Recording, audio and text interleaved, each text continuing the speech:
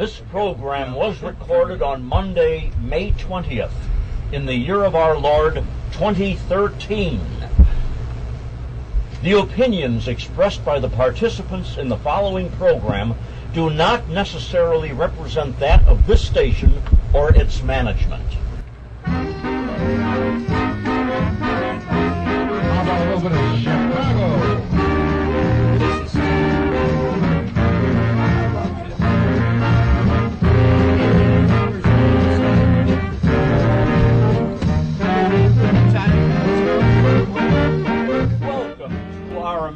Edition of Meet the Chicago Historians. We have as our topic today the green spaces around us, our forest preserves and parks. But before we get into the show today, here's a little word about them. It's now late May and we have a lot more daylight to enjoy. So why not get out and enjoy these open green spaces and the fresh air? And you don't have to wait until the weekend. Do it today.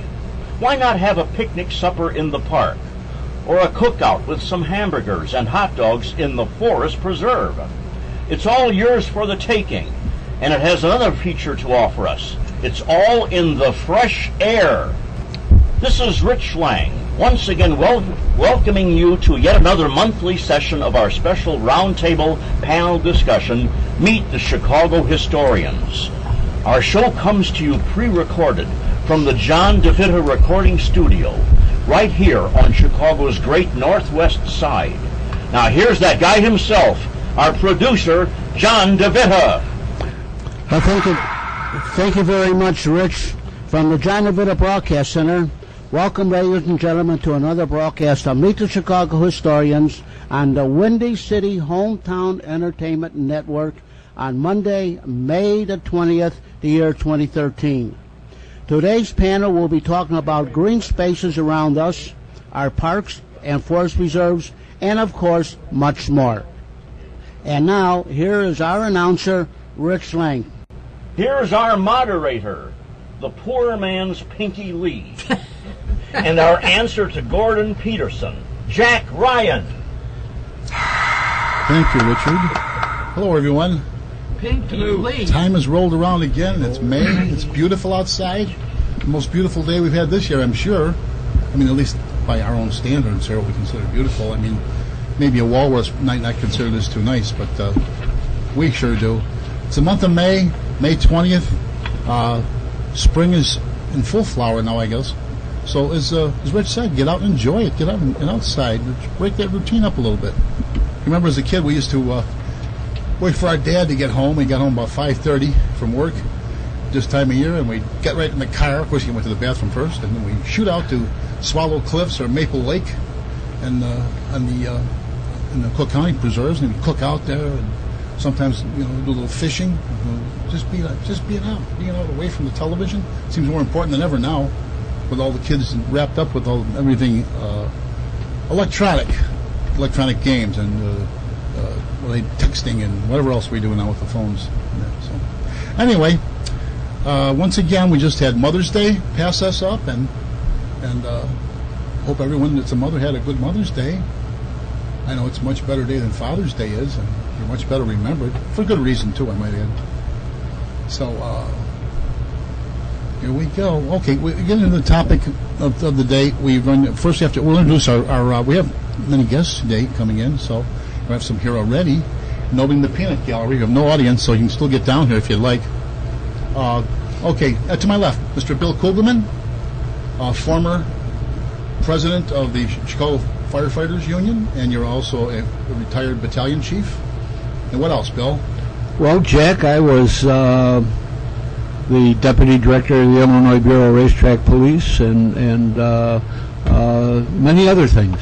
So you celebrated Mother's Day. I Mother's Day at the track and watched the Derby and the Preakness and uh, uh, waiting for the Belmont coming up. Went to Preakness. We just had the Preakness. I missed that one. Yes, we did. Has any has any horse ever The long shot. any horse ever won the Kentucky Derby twice? No, No, it's for, it's for three year olds, right? no, no, no. My brother-in-law won the Preakness with his horse in 76. Really? Yeah, yeah. An ex-policeman, by the way. What was the horse's name? Elocutionist. Who? Elocutionist. Is, is, what happened? to? And funny story. Well, funny story. I went down to the sale with with Gene and his uh, trainer Paul Adwell, and uh, they were going to buy a couple of horses, and uh, they they came with uh, within two, and here's these two very rich people, and uh, they couldn't make up their mind which one to buy, so they flipped the coin, and they bought Gene bought Elocutionist. Uh, the other horse, and I don't remember what what the name was. Um Elocutionist beat that horse in the next race in the Preakness, and uh, but that horse beat Elocutionist later on. Uh, but uh, here's here's these two guys with all this money and all of this knowledge, and bingo, they got to flip a coin. what what Now, a did you? Uh, was that was he a, a, a stallion? yes yeah. And would he get put It, up? it was up to stud for a while. Yeah, he heard a he heard When he a retired? uh, a Is he leg. gone now? Uh, uh, yes. Oh yeah. I'm sure we yeah. know. This was seventy six. Well, I mean, so how long do some horses live? I don't know. Well, as long as How do uh, you get on horses now? how do you get on horses? One, you know, just step Yeah, in you One find step at a what's- time. Yeah, right, you People live know, over 40. from the Can left. They? Is that Rare, like but- Yeah, dog rare. years or, or horse years or Or, well, oh, in about. human years? human. Human years. did you know that every horse gained a year on January first? Yeah, they, yeah, they, they count them the Okay. same, right? I Yeah. understand that. Every thoroughbred, Yes. not the guy who was not the ragman's horse. No, Yeah, no, right. no. You're all- Not the milkman's horse. Never see those anymore. No. do you? They're all born on Okay. the same day. Crowded to paternity Ain't that ward. amazing? I wonder why that was. I heard that as a kid. What do you mean they're all born the same day? Okay, next up, John Kushelko. Well, hello, Wilbur. I'm Mr. Ed. My name is John Escacholco, and I'm very glad to be here. Who, who made who made the voice for Mr. Ed? There we go. He was a cowboy star. He died not too long Alan ago. Rocky Lane. Rocky Lane, yeah. He did some dramatic stuff too. I know. You know. He was in that one Hitchcock where with Barbara Bel Geddes, where he was the police captain and was playing around his wife, and she hit him over the head with the frozen leg of lamb. and then and then served it to the investigating officers. Served the murder weapon. Yes, Very good. I, One of- I hope I didn't ruin anything. one of his hasn't seen that classic episodes. So, um, yeah, okay, John. John, what, what else? What, what is your background? You're, you're Well, a recovering politician. I've been in government and politics most of my life. I was a state representative and a town assessor in Cicero, and uh, attended national conventions and that sort of thing. And I do public speaking and and uh, love doing radio and television. Yeah, we wish we had a camera down. You could show our studios to the folks out here, and you could see my my, my, my, my bright red hair. Only my, only my hairdresser knows for sure, though. John DeVita Broadcast Center. Okay, next up, announcer. I'm your announcer, Rich Lang, and a longtime Chicago history enthusiast. And you had some background in academia, right? A little teaching, You know. a professional grad student without an advanced degree, but I did some teaching anyway in those times. And you were brought here by the next man, Ken Little. Uh, yeah, sort of. Uh, You teach it. I had an interesting career. Spent 35 years with the Chicago Fire Department, sending Bill uh, Kugelman to fires, and um, Dispatch, right? yeah, and um, and then I had an opportunity to teach at Wright College, so I I um, sort of created my own Chicago history um, program there with uh, slides and Are you still field. teaching it? I thought, No, you, I, I- thought I- you created history, not uh, taught it. I did that too, but we don't talk about that. But anyway, uh, Rich and um, Al are uh, were students of mine. No, I'm I threw in the uh, towel, so not feeling that well. I did 21 years. I'm in another pension plan, Yeah. which the state will probably screw up. You have a pension for those things, huh? Yeah, That sort of thing. yeah. And uh, next up, uh, Jeanette. Hi, everybody, and uh, good morning. Uh, my name is Jeanette Frontier. I uh, they found me at WJJG Radio. Uh, I always say you can do a lot in a hundred years. I've been in business. I've been in modeling. I've been a nurse. I've done a lot of things, but uh, I enjoy this very much. And your, your show, former show was called what? The Last Frontier, isn't that unusual? Very it was good. just a talk show, a call in, and uh, Yeah. the day's events and whatever I had a took girlfriend place. who was a model. Did I you? couldn't kiss her till the glue dried. Next up, sir. Uh, name's Al Opitz. I'm uh, president of the Austin Area Community Council, and we have a new committee starting up now. We're hoping to get be successful with it. It's for the Memorial Park uh, at Dunning, which is it's on a website called 38,000 Forgotten Souls: The Read Dunning Memorial Project, and it's three and a half acres of some estimate about 28 acres of original cemetery that existed over at in that area. And uh, we're having a meeting tonight, but that's not going to count. Other than that, uh, It'll be too late for the folks to come when they hear this. I know we could always come next time, whatever it is. Well, if you know, tell us. But go on the website anyway. A good, good website, and it's uh, very informative. Thank you. And we have a few people missing. Tom McKenna is on assignment to Washington, D.C. from the station. He was there for the uh, uh, National Poli- Police Memorial uh, with his brother Dennis, and, uh, and they make it every year. We were down there one year too. With it when our, of course, our kids lived there, so we had a place to stay. They, they moved here just now. Anyway, let me say hello to them now. Hello, Jack. He's uh, 10 months old now, and maybe he might be listening. You never know one of these days. How you doing? Okay, I'll be home soon. And hello, Grandma, you're taking care of him. And Michelle, the mother, my, our younger daughter. And Sean, he's away at a convention right now. Uh, I think it's the Raccoon Lodge, but he's in, he's in Anaheim. Can And, I uh, say hello to. Kate? Sure, go ahead. Okay. Hello, Kate. Okay. And uh, Jen, who the, the little guy's calling AJ for Aunt Jen now, so we got all that stuff in. Next up, we have some uh, guests today. Just bring us some expertise and provide us with some information. First up, Mary Laraya. Did I say that right? You did. And you're from Cook County. From the Forest Preserve. And what, what is your function there? What do you, what do, you do? I'm the deputy superintendent, which is like the second in charge for county. And I'm getting closer to the mic. I'm second in charge there, the deputy superintendent, and I'm working on our 100 year centennial. Is it now? Yeah? It is coming up. Uh, depending on how you count, you could designate 1913 as the founding day, or 14, or 15. So we've decided to celebrate the whole thing. Why not? Why not? Why not? Do all three. All right. Then we Where's this going to be, Mike? Well, the forest preserves um, surround the city for the most part. There are a couple of locations actually within the city, 105 miles long. And so we'll be celebrating all over the place. Oh, okay. Okay. And we're going to kick it off on June 12th. Ryan's Woods, Swallow Cliffs. Mm-hmm. I what can tell. word? You've Bullfrog. been there. Oh yeah, I've been there. Used to watch the submarine races up there in the lakes. And uh, How many Okay. did you sink?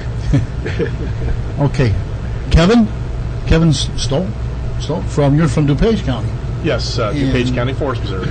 sir, and the home of Cantigny.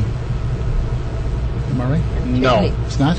no. You know that? We do have three golf courses, but Cantigny's uh, uh, separate. Uh, Is it? Is it private? private? Oh, okay. Well, I'll give you credit for it anyway. It's beautiful. It is. Okay. Yes. And uh, what is your what is your job there?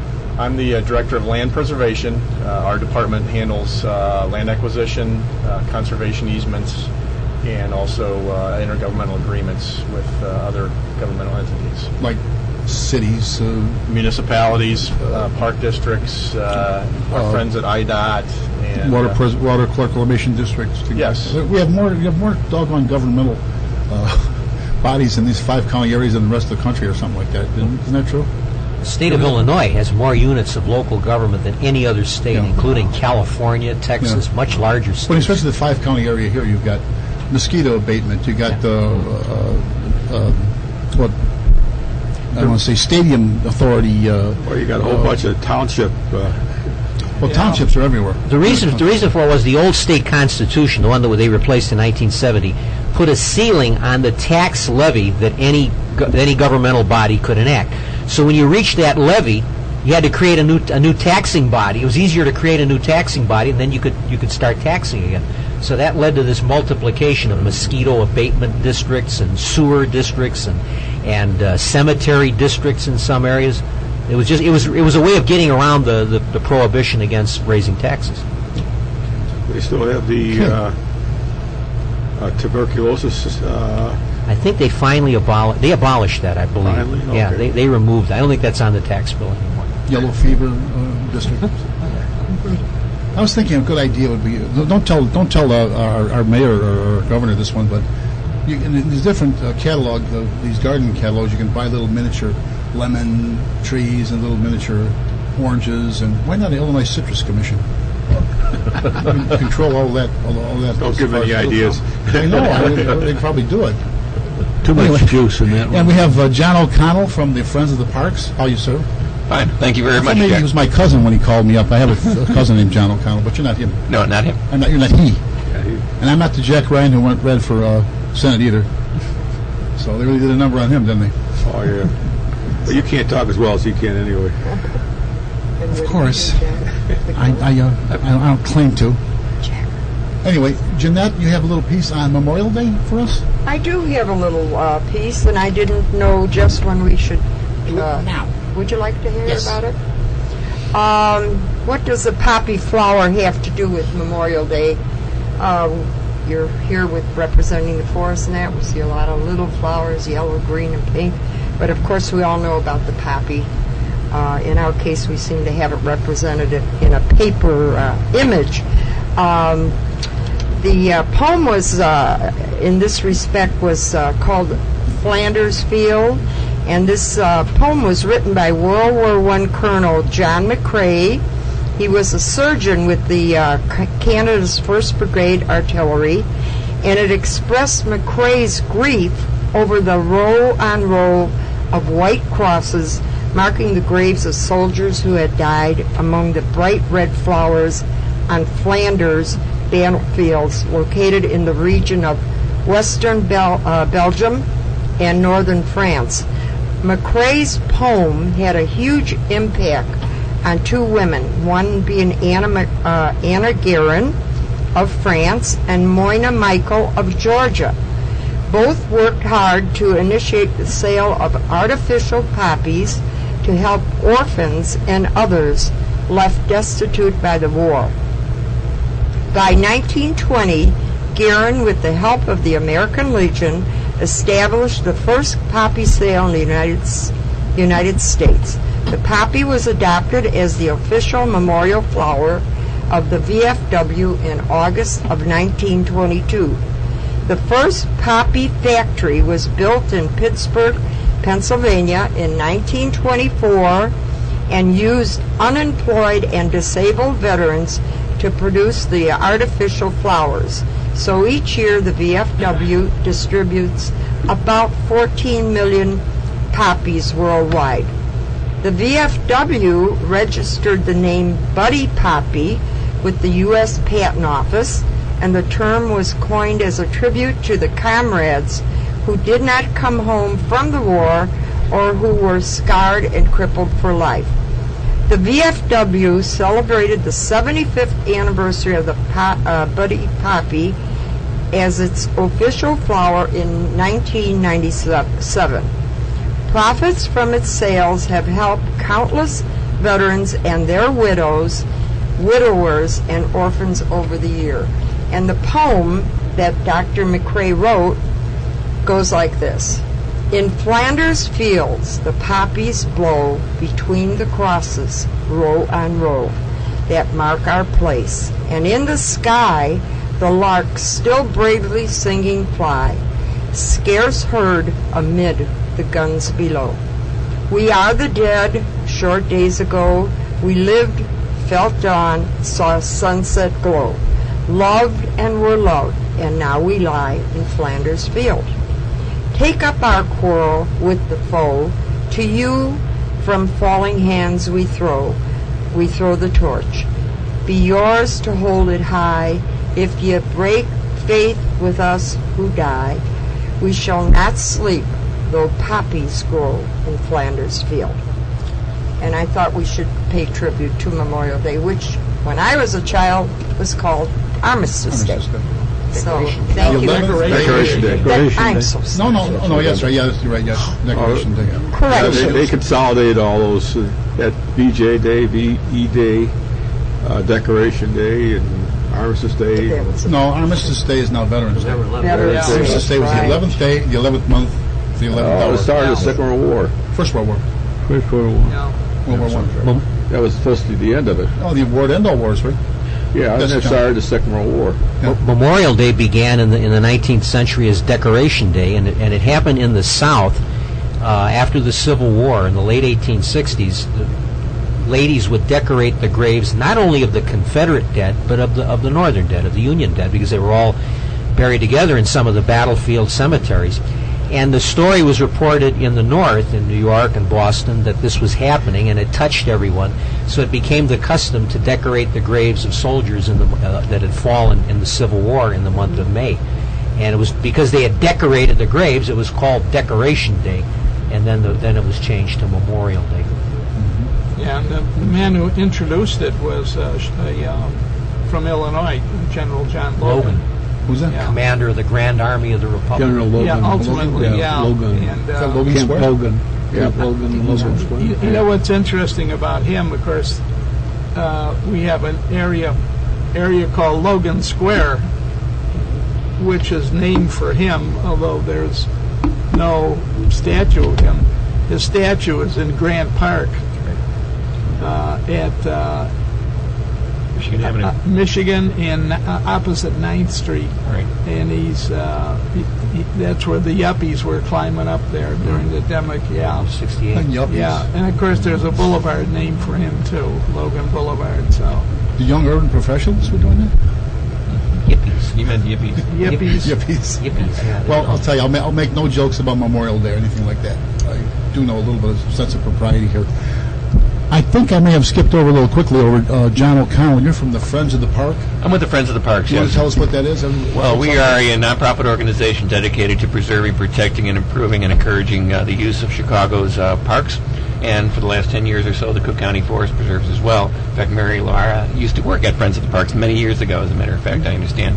I've been there about 10 years, and actually I've been a, uh, uh, involved with Friends of the Parks for about 25. I actually started a Park Advisory Council, the, the Warner Park Advisory Council, about 26 years ago, and I'm still very active in that as well. Now, um, how long? How, how long has the organization been? We're, we're in our 38th year. 38th. And I've been there about 10 years. It'll be 10 years in two weeks. And John, what does that entail? What what does that? Uh, Um, among the things we do, we have a variety of programs. We're probably kn- best known for our advocacy work. We work with the uh, Chicago Park District and also with the Forest Preserve District of Cook County to, uh, you know, keep an eye on the uh, parks, make sure that they're uh, stewarded properly. Uh, one of our initiatives, for instance, in our policy area, is trying to complete the last four miles of the lakefront. Uh, you know, Chicago is wonderful, but because it, has 30 miles of lakefront, and 26 of those are publicly owned as parks, but there are two miles on the north and two miles on the south that are still in private hands, and we'd like to complete the entire lakefront path all the way from Evanston to Indiana. So that's one of the programs we're working on in our policy area. Where, where are these two? Uh, on the north side, as I say, pretty much once you get off Hollywood, uh, on the, like uh, Lakeshore Drive at Hollywood, you go northbound. You have to get off your bike. Uh, your, your bike has to get off and uh, go over really pretty much to Glenwood. You're not even allowed to bike on uh, Sheridan Road. So we'd like to see the bike path. And of course, with the uh, lakefront receding, you're seeing all these little street end beaches getting connected more and more. So you're going to invariably have the path all the way continuous any, anyway. So we're, we're advocating, since it's going to happen anyway, you may as well make a nice path out of it and uh, connect it all the way then from, like I say, the north side from Evanston through Rogers Park. Uh, and then you, know, you pick up the park, uh, the the, the uh, lakefront park system and the bike path that way. And then when you go down on the south side, you get down to uh, 71st Street, and it pretty much stops after the uh, South Shore Cultural Center. So we'd like to see it uh, connecting up to uh, Rainbow 74th? Beach. 74th, and then, 75th there? Right, 74th, Yeah. 75th. We'd like to see that connected, and then you start Rainbow Beach. And after Rainbow Rainbow Beach, Beach. you got the U.S. Steel site uh, to Calumet River, and once you get to there, then you got a little bit of land there that connects to uh, Calumet Park. So there's those two miles around the south as well. You, al- you also got the South Water Purification Plant there. You, You're not going to be able to go across that. You got to No, go around it. Right, you go around it exactly, and, and uh, somehow get over the Calumet River. You know, we'd like to have a little uh, bike path along out that way too, but you still have to go up to uh, 41 to get across the Calumet uh, River at that point. Oh, the other thing that you've got going right now, and still its infancy, is the uh, Read Dunning, or Dunning Read Conservation Area locally here over on uh, Irving Park between uh, Harlem and uh, It's, a, it's at Oak Park Avenue. Yeah, I'm, I'm glad you brought that up because we are here in the Dunning neighborhood here right now, and just about uh, half a mile from here, there's about 23 acres uh, that uh, about uh, six, seven years ago, we worked with the state of Illinois to get a conservation easement, and so now that is now known as the Dunning Read Conservation Area, and we spend uh, quite a bit of time there uh, at uh, at Dunning Read, uh, working on voluntary activities. Uh, we did corporate service, corporate work days. We also get uh, school groups and church groups, uh, and it's an amazing thing. I like to say that Dunning is stunning. Because we put down a wood chip path now. You know, it used to be nothing. In fact, it's still owned by the state of Illinois. It's part of the Read Mental Health Center out there.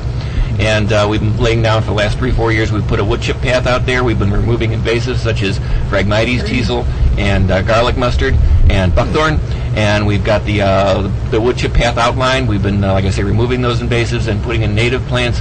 And it's free for people to walk on right now. You're uh, you can just go over there on Oak Park Avenue and park, and you can actually uh, uh, you don't have to go out far out in the uh, suburbs. You know, there's a lot of prairie restorations going out uh, on out in the suburbs, but this is something actually happening right here in the city.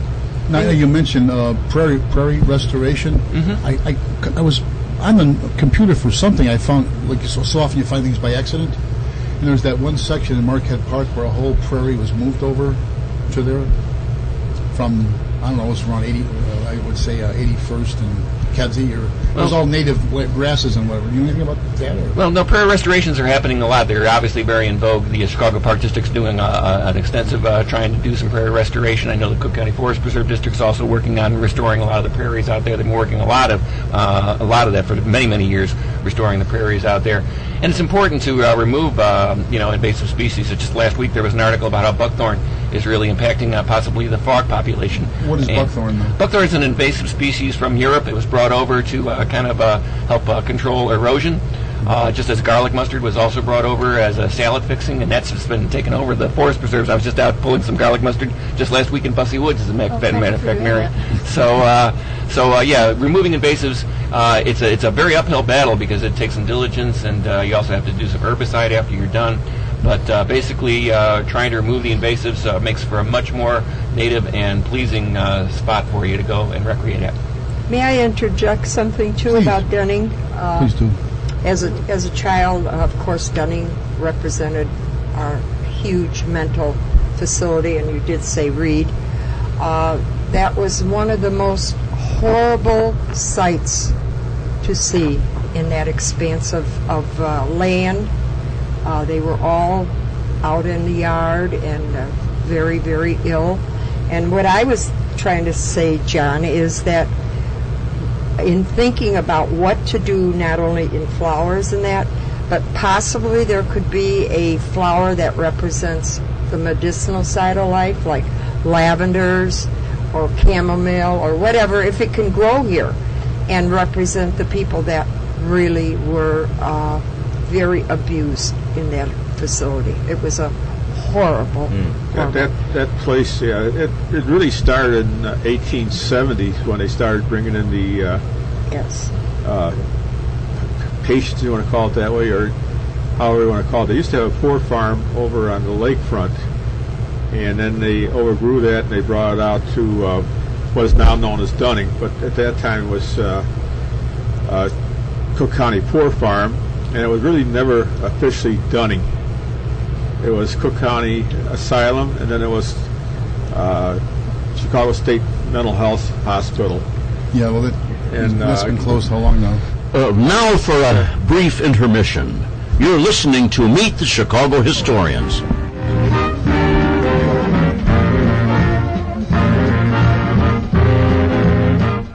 Well, friends, now that the warm weather finally arrived, it's time to plant your flower garden and your vegetable garden. No, it's not too late to start planting your flowers and your vegetable gardens. And I have just the right place for you to go to get your flowers and your vegetable plants. You can go to Pesche's Flower Gift Shop and Garden Center and Greenhouse at 170 South River Road in Des Plaines, Illinois. Pesche has a very large selection of flowers, vegetable plants, and much, much more. Whatever you need for flowers or for vegetable gardens, you can find it at Pesche's. Once again, They are located at 170 South River Road. They are just north of Route 14 or Miner Street in downtown uh, Des Plaines and south of Golf Road, which is Route 58, and just south of Holy Family Hospital on the west side of the of the road. And be sure to stop in and visit their flower and gift shop. Oh, is it beautiful! Again, Pesche's Flower Gift and Garden Center at 170 River Road in Des Plaines, Illinois. And River Road, once again, is Route 45. They are just north of Route 14 or Miner Street and south of Golf Road and Holy Family Hospital, which is Route 58. You can call Pesche's at area code 847 299 1300 for more information. Once again, Pesche's Flower, which is at 170 South River Road in Des Plaines, and their phone number is area code 847 299 1300 for more information. They have all kinds of garden needs. They have water fountains. They have tools. They have oh, the flower and vegetable selection is just fantastic. You won't be sorry if when you go there. And be sure you stop in and visit their flower and gift shop. It is amazing, friends. I was just there the other day, and they really you can spend you can spend hours there walking through their facilities. So once again, stop in at Pesche's Flower and Gift Shop, Garden Center, at 170 South River Road in Des Plaines. They are again on River Road. They are, which is Route 45. They are north of Route 14 or Miner Street, and just south of Golf Road and Holy Family Hospital, which is Route 58. 847-299-1300 for more information.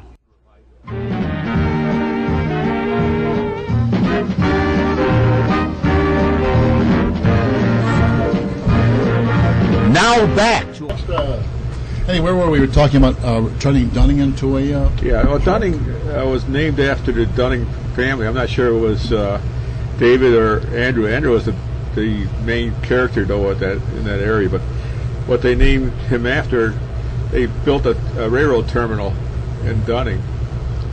It's one of the stories, anyway. And they wanted to name it over after the most prominent person in the area. And Andrew Dunning was the most prominent, so consequently the name Dunning got in there and sort of stuck. There's other things too. They had a, t- a village of Dunning, so it may also have been a postal address because they It uh, is. was a whole village? well 40 The acres. Dunning area. Yeah, Annexed. I don't know if it ever incorporated or not, but it was 40 acres, And a mule. and uh, th- one of the mailing addresses was uh, Cook County Asylum at Dunning. Oh, okay. So they could have ch- shortened it to Dunning, and then of course they also had a Dunning post office. So any number of these three things could have caused the name, but it was never Where officially did, where did Read come from?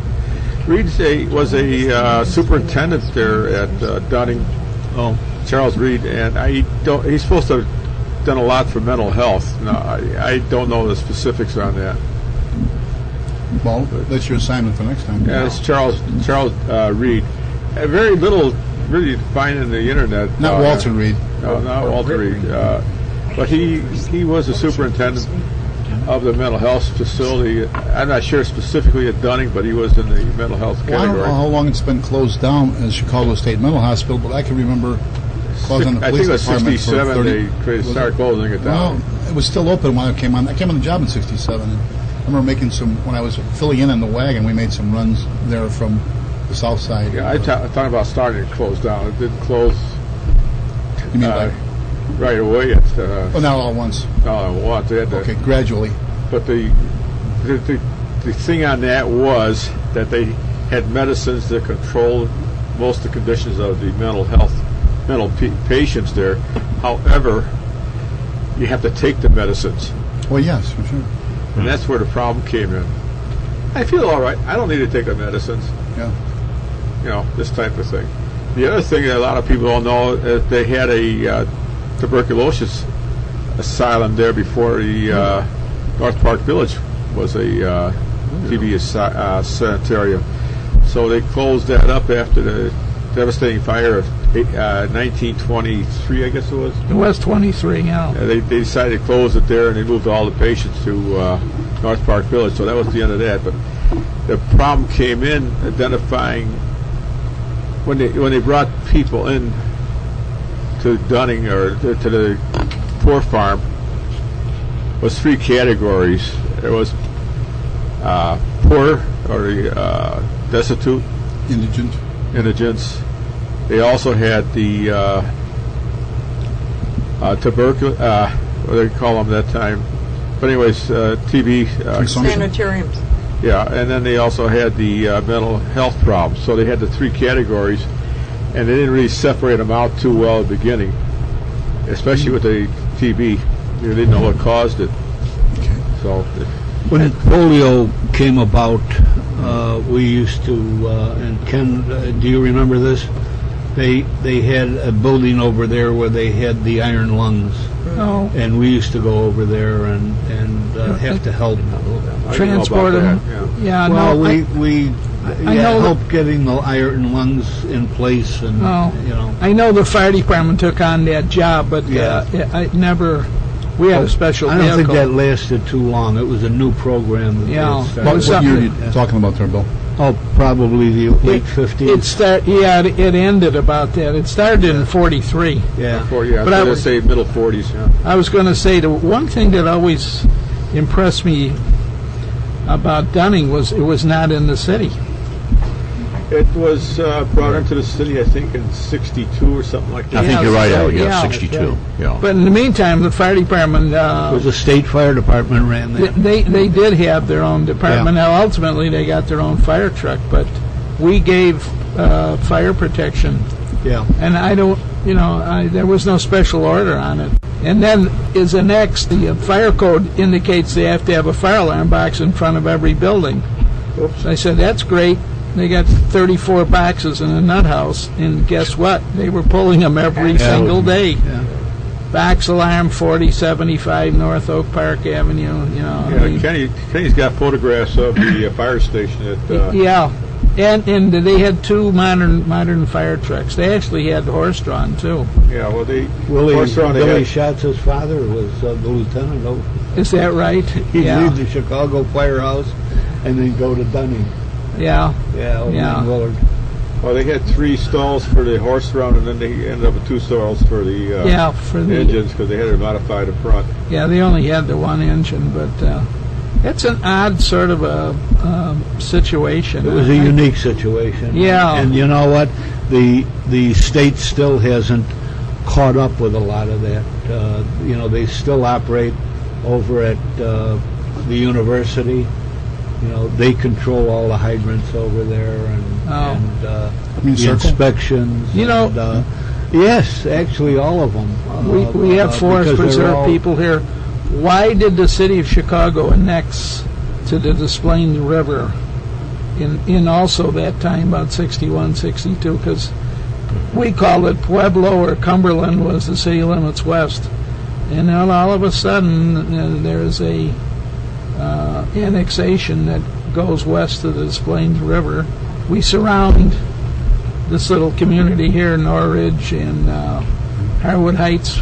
We probably could swallow them up because we have them completely surrounded. Is that maybe because of the the airport, O'Hare, I, the way they I don't know. There is straight a There, there was.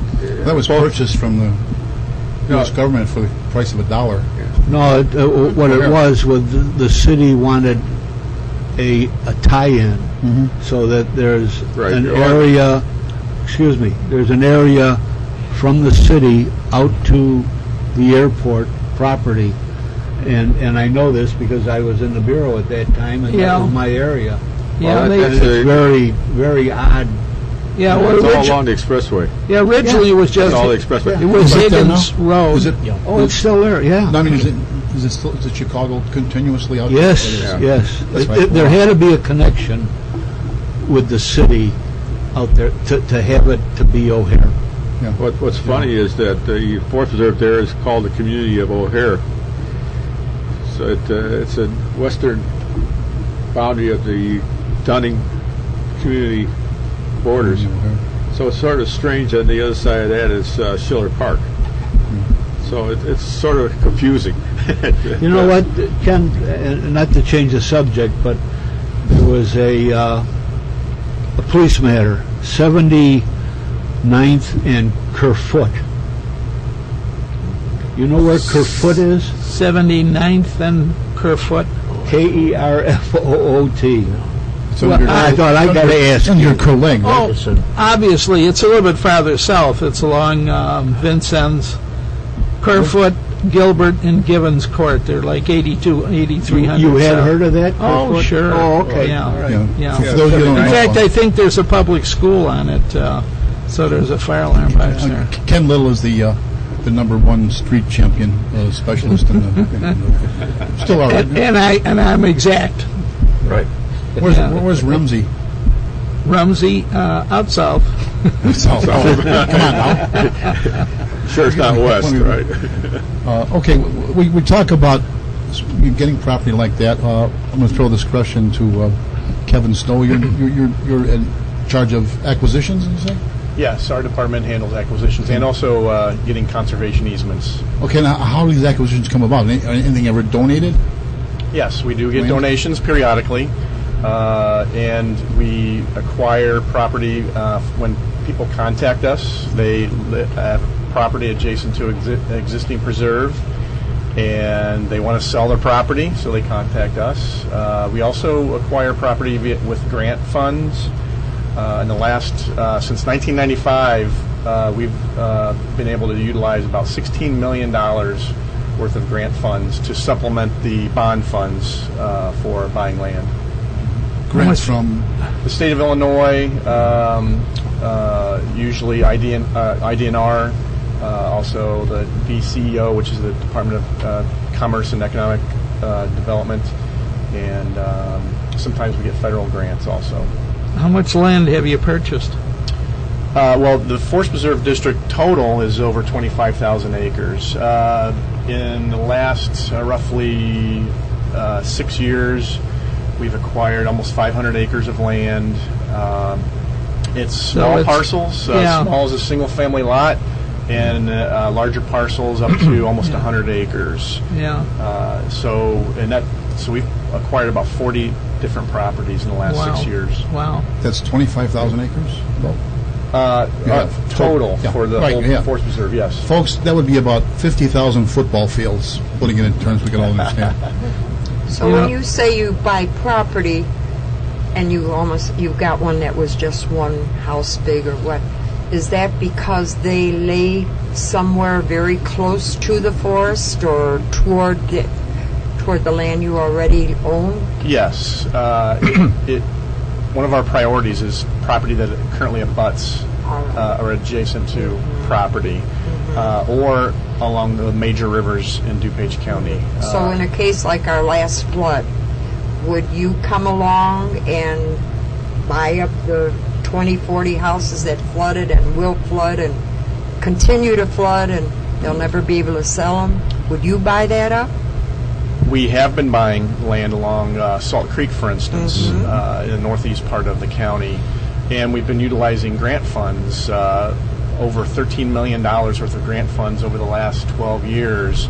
We've been buying uh, property adjacent to Salt Creek, and we uh, remove the homes and turn it back to floodplain, vacant land within the floodplain. Uh, and uh, but we don't have any kind of buyout program per se. Uh, if we have funds available and uh, there's property available, people want to sell, then we then we'll buy uh, anywhere from a single family lot, and we've bought land up to 20 acres adjacent to uh, uh, the rivers. I'm speaking as a layperson where why would you continue to live where your house floods forever and ever and ever? Yeah, it does. And now worse and worse. Yeah. Yeah. For that Yeah, matter, why do they stay in New Orleans? Yeah, well, the Yeah. point the point Well, is, you know, where do you that- get that land? Yeah. Des Plaines River, you got all the floodplains there, and people keep on building You know, them. I have a question for the lady from uh, Cook County. Uh, do you know anything about Ella LaBagh, who um, goes back to the beginning uh, that she wrote a letter to the Cook County Commissioners about 100 years ago, I believe, Sounds right. 13 or This is 14. Mary Laraya, for folks listening. Yeah, Mary. I do know that it's one of our most popular areas, and it does one of our early acquisitions. I don't know about the letter. I'd love to. Tell me. Well, supposedly the story, and we're, uh, Rich and I are both involved in the Irving Park Historical Society. She and her husband um, lived in Old Irving Park, and they, I guess they used to go up to the forest preserves, Montrose and Lawrence, when that was still sort of open land. And uh, she sent a letter to the uh, commissioners proposing that they buy land for a forest preserve and to preserve the forest, actually. And one of the thrills, I understand, is that there is a uh, LaBagh Woods. In fact, our family has a picnic there every year. And it was named for her around 1940, and she was present when they uh, named it. So that that's a great story. Uh, It is. We have a yeah. lot of preserves uh, named after people who have um, exhibited an extraordinary passion in trying to preserve that land. Mm-hmm. Um, this was. It is the oldest forest preserve in the country. Which one's that? Really? Uh, the Cook County Forest Really? Is it? Yes. Oh, okay. And it paralleled the work that was done by Teddy Roosevelt in establishing the national parks. It was all, gonna say, yeah. in many ways, one big discussion uh-huh. about how cities were growing, and they were growing in such a way that there wasn't a lot of, of natural open space No. left behind. And the early preserves, in fact, the first acquisition was out in what's now Barrington, called Deer Grove. Oh. And, mm-hmm. You know, in many people's minds, that was so far out that no one would ever go Yeah, there. right. Now, it's, you know, part of the expanded Chicago Like another area. community, new neighborhood. A lot, a lot of people don't realize that uh, the Forest Preserves really is a stem off of the Burnham and Bennett plan of 1909. People are familiar with uh, Daniel Burnham's plan where he wanted to preserve the lakefront, which I talked about a little earlier. And really the second key thing that came out of that plan was the uh, north-south street that they needed, which really became Michigan Avenue when they con- uh, connected uh, Pine Street to uh, Michigan Avenue on the south end of the river. So that was called for in that plan. And the third part of the plan of Chicago was for uh, establishing a forest preserve district. Well, the, the greatest, the greatest so hero of that, though, would about be it. Montgomery Ward. That's right. Montgomery Ward was uh, Oh. sued the uh, uh, city on four separate occasions to the state of Illinois uh, Supreme Court, and on all four occasions uh, he won. And that's why we have the preserved lakefront right now, is because Montgomery Ward was vilified at the time, uh, but he took the brave step and he used his own personal funds to uh, protect the lakefront. And they finally named the park after him, too. We finally we got that done a couple years ago, as a matter of fact. Yes. Yeah, there's a section. John, were you uh, you were around when uh, uh, our former mayor uh, xed out Meigs Field? That was that was exactly ten years ago. That was just before I came on board at Friends of the Parks. Okay. Uh, that was in the spring of uh, 2003, as a matter of fact. Because Yes. we, we in the fire department, and, Mhm. and I mean we were Not happy about that. Oh, not happy. Right. Oh, well, I mean, his tactic. Uh, fact, when I was in the union, we, Yeah. you know, we had articles in the paper all the time. I think his tactic probably left a bit to be desired, but actually his intention was, was sound because the, uh, the what, we, what is now Northerly Island was proposed as part of the Burnham and Bennett Plan of 1909, and that was built with taxpayer funds to become a park. And after World War II, uh, really it was the uh, aviation industry that took that that over, and really at uh, at a cost the uh, citizens of, of Cook County and Chicago, uh, who actually paid for the building of that island. So actually, uh, Mayor Daley was right in the fact that that should become public land and not just used by one tenth of one tenth of one tenth of one percent of the Well, it was population. public land, correct? It is public land now. It Wasn't it- always Was was, beforehand? but it was basically Yeah, being wasn't used that by part- the uh, private airplane industry. Wasn't that now part it's of being the, turned into uh, a park. Used as part of the Century of Progress. It was used. It was further? used in, in the. Uh, My, my mom and dad uh, had a date there. That was their first time they went. that's out. right. That was where the uh, that was where the World's Fair was in the 30s. Was on that site at Burnham, which is now Burnham Park. right. I got photographs of that, uh, some of that stuff. My dad took photographs when he was, uh, he would have been in uh, 30s anyway. John, I Now, with know what they do now and, and, and the way they acquire things and that, I, I- you know, I see no difference in what they did back then. Mhm. You know, What- be it- it public or private or. Yeah, or it was- it was the way that Good they- of the city. it's the way they did it, John. You know, we had a Right. firehouse out there in our helicopter. They were told they given two hours to move Yeah, at midnight. How goofy can you be? You know. And they had airplanes there that uh, could not fly off because the runway was. Yeah, And as I say, they You, called it you spoke eloquently about that ex-mayor. And they, and they and they called it Northerly Island because it was the first of a string of islands. As if you go, for instance, to uh, uh, uh, Canada to Toronto, they have a whole st- uh, string of islands just off the lakefront, like uh, uh, um, as we have a lakefront.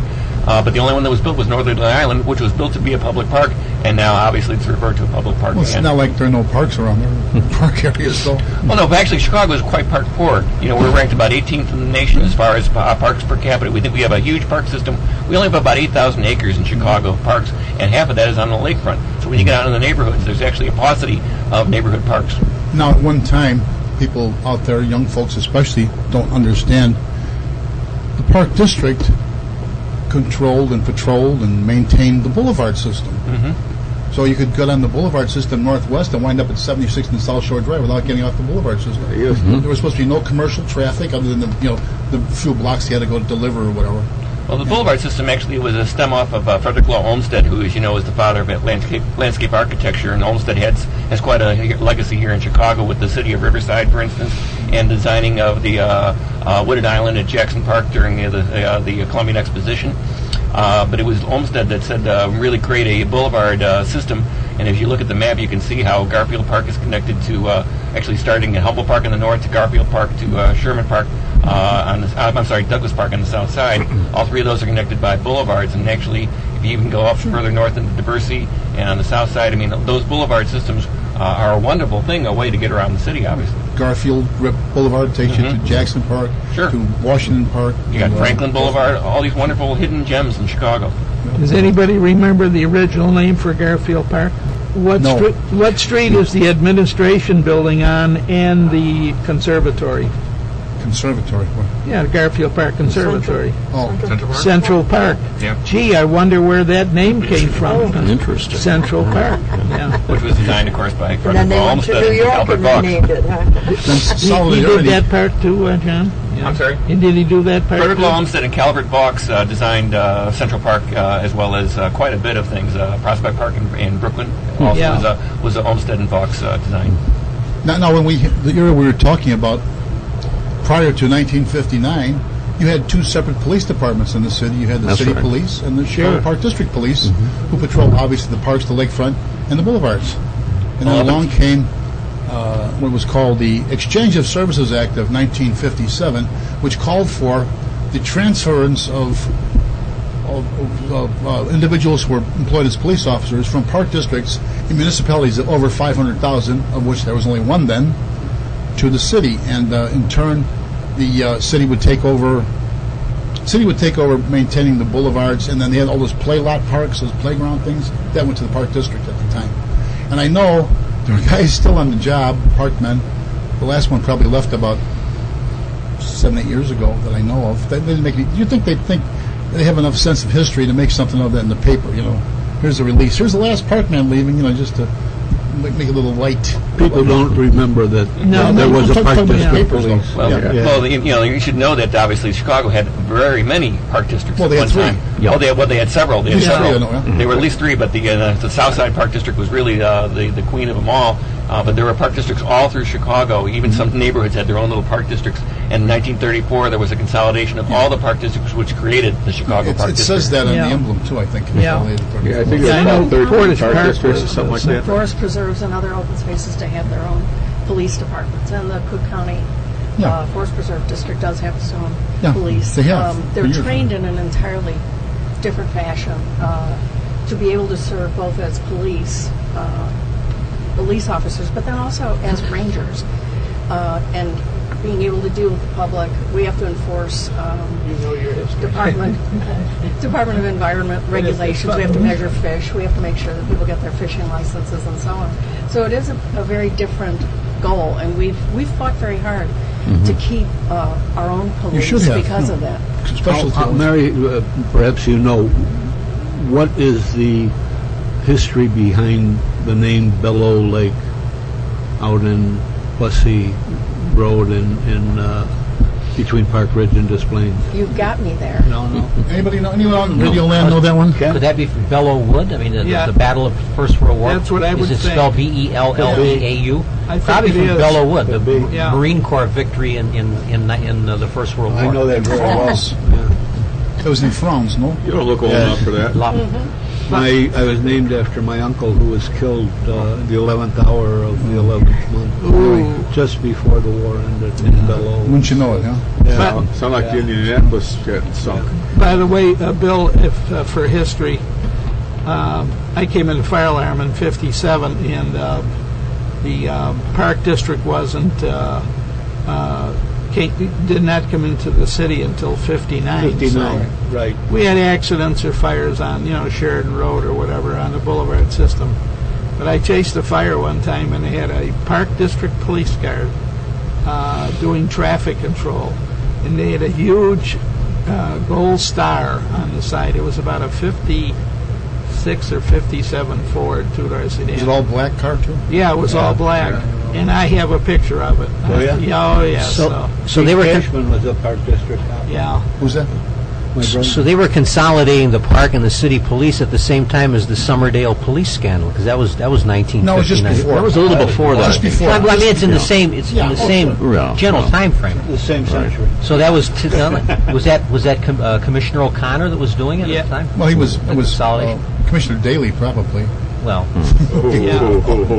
I, I don't, John, I don't know if there was any connection there, though. I'm just thinking the time is roughly the same. Roughly, Yeah, yeah, yes. yeah, yeah. Czar, I think you meant Czar. Yes, I, Day. remember. really I, don't. I remember Papa that. I mean, the Summerdale scandal was 1959. Also, It was. 60. More like 60. I think. No, no, it's 59. I was in eighth grade. It's 59. I was in eighth, wasn't me, Well, I I was in eighth grade. OW didn't come in until about 61. or 61. 50. Yeah. I Yeah. Yeah, he came Oh, in, he was in some committee to, to select a su- uh, commissioner. No, no, He chose himself. Yeah, yeah, right. But he said there was a lot of good that was done, though. They said, you know, as far as uh, getting uh, uh, materials, vehicles. He had a choice between a new communications room and a police academy. He chose the communications because for years we had that Foster School, which is right south of Roosevelt on the west bank of the Rhine. It was like the oldest, most decrepit. Uh, was probably full of uh, asbestos, I'm sure. Schools. They never had a sign on there. Never had the sign there. Remember? How, what year was the fire academy built? Uh, do you know? Yeah, it opened May of 61. One in Dakota? Uh, yeah. And, and uh, Jack, the Yes. uh, I took a picture of the uh, old Foster School. There were three separate buildings, one on the Union side and a couple, the one on the O'Brien side. Mm-hmm. The one on the Union side had the date of 1857 on it, so that had to be the oldest, and it was was still an active school, so it had to They be. supposedly had used it as a hospital during the Civil War for a while. Yeah. And supposedly Lincoln's kid, one of his kids, went there when he was in here. So doesn't mm. say. I don't Well, know. just because an old school doesn't make it a bad school. No, hmm. Yes, I, I, I'm, I'm from the old school myself. Yeah, you're way old. I wanted to bring up a point a little bit in opposition to the forest preserve districts of Cook and DuPage County gradually expanding. We had talked about LaBagh Woods before. One distinctive thing about LaBagh Woods was that it became the southernmost leg of a major expressway, Edens Superhighway. But before I go on with that, let me say that uh, you're listening to Meet the Chicago Historians, and we thank you for it. We'll be right back. Well, friends, spring is here, and now is the time to think about your roof, siding, gutters, on your home or place of business. We could get some heavy rainstorms in the next few months, so be sure the roof, siding, and gutters are in good shape. You don't want mold or mildew in your attic or crawl space, or drip, drip, drip on the ceilings in your rooms, or have your walls damaged by a leaky gutter or bad siding. So don't have double expense. Sooner or later, you're going to have to get them repaired. So why not call Best Brothers Roofing and Siding and Gutters at area code 630-616-1359. Mike Best will drive over in a shiny red truck with ladders on top and Best Brother roofing signs on the doors. Mike will look over your roof, siding, and gutters and give you an estimate and go from there. So once again, friends, don't have double expense. Call Best Brothers Roofing for a free estimate. Again, the number is area code 630-616-1359. That's Best Brothers Roofing, Siding, and Gutters at area code 630-616-1359 for Best Brothers Roofing, Siding, and Gutters.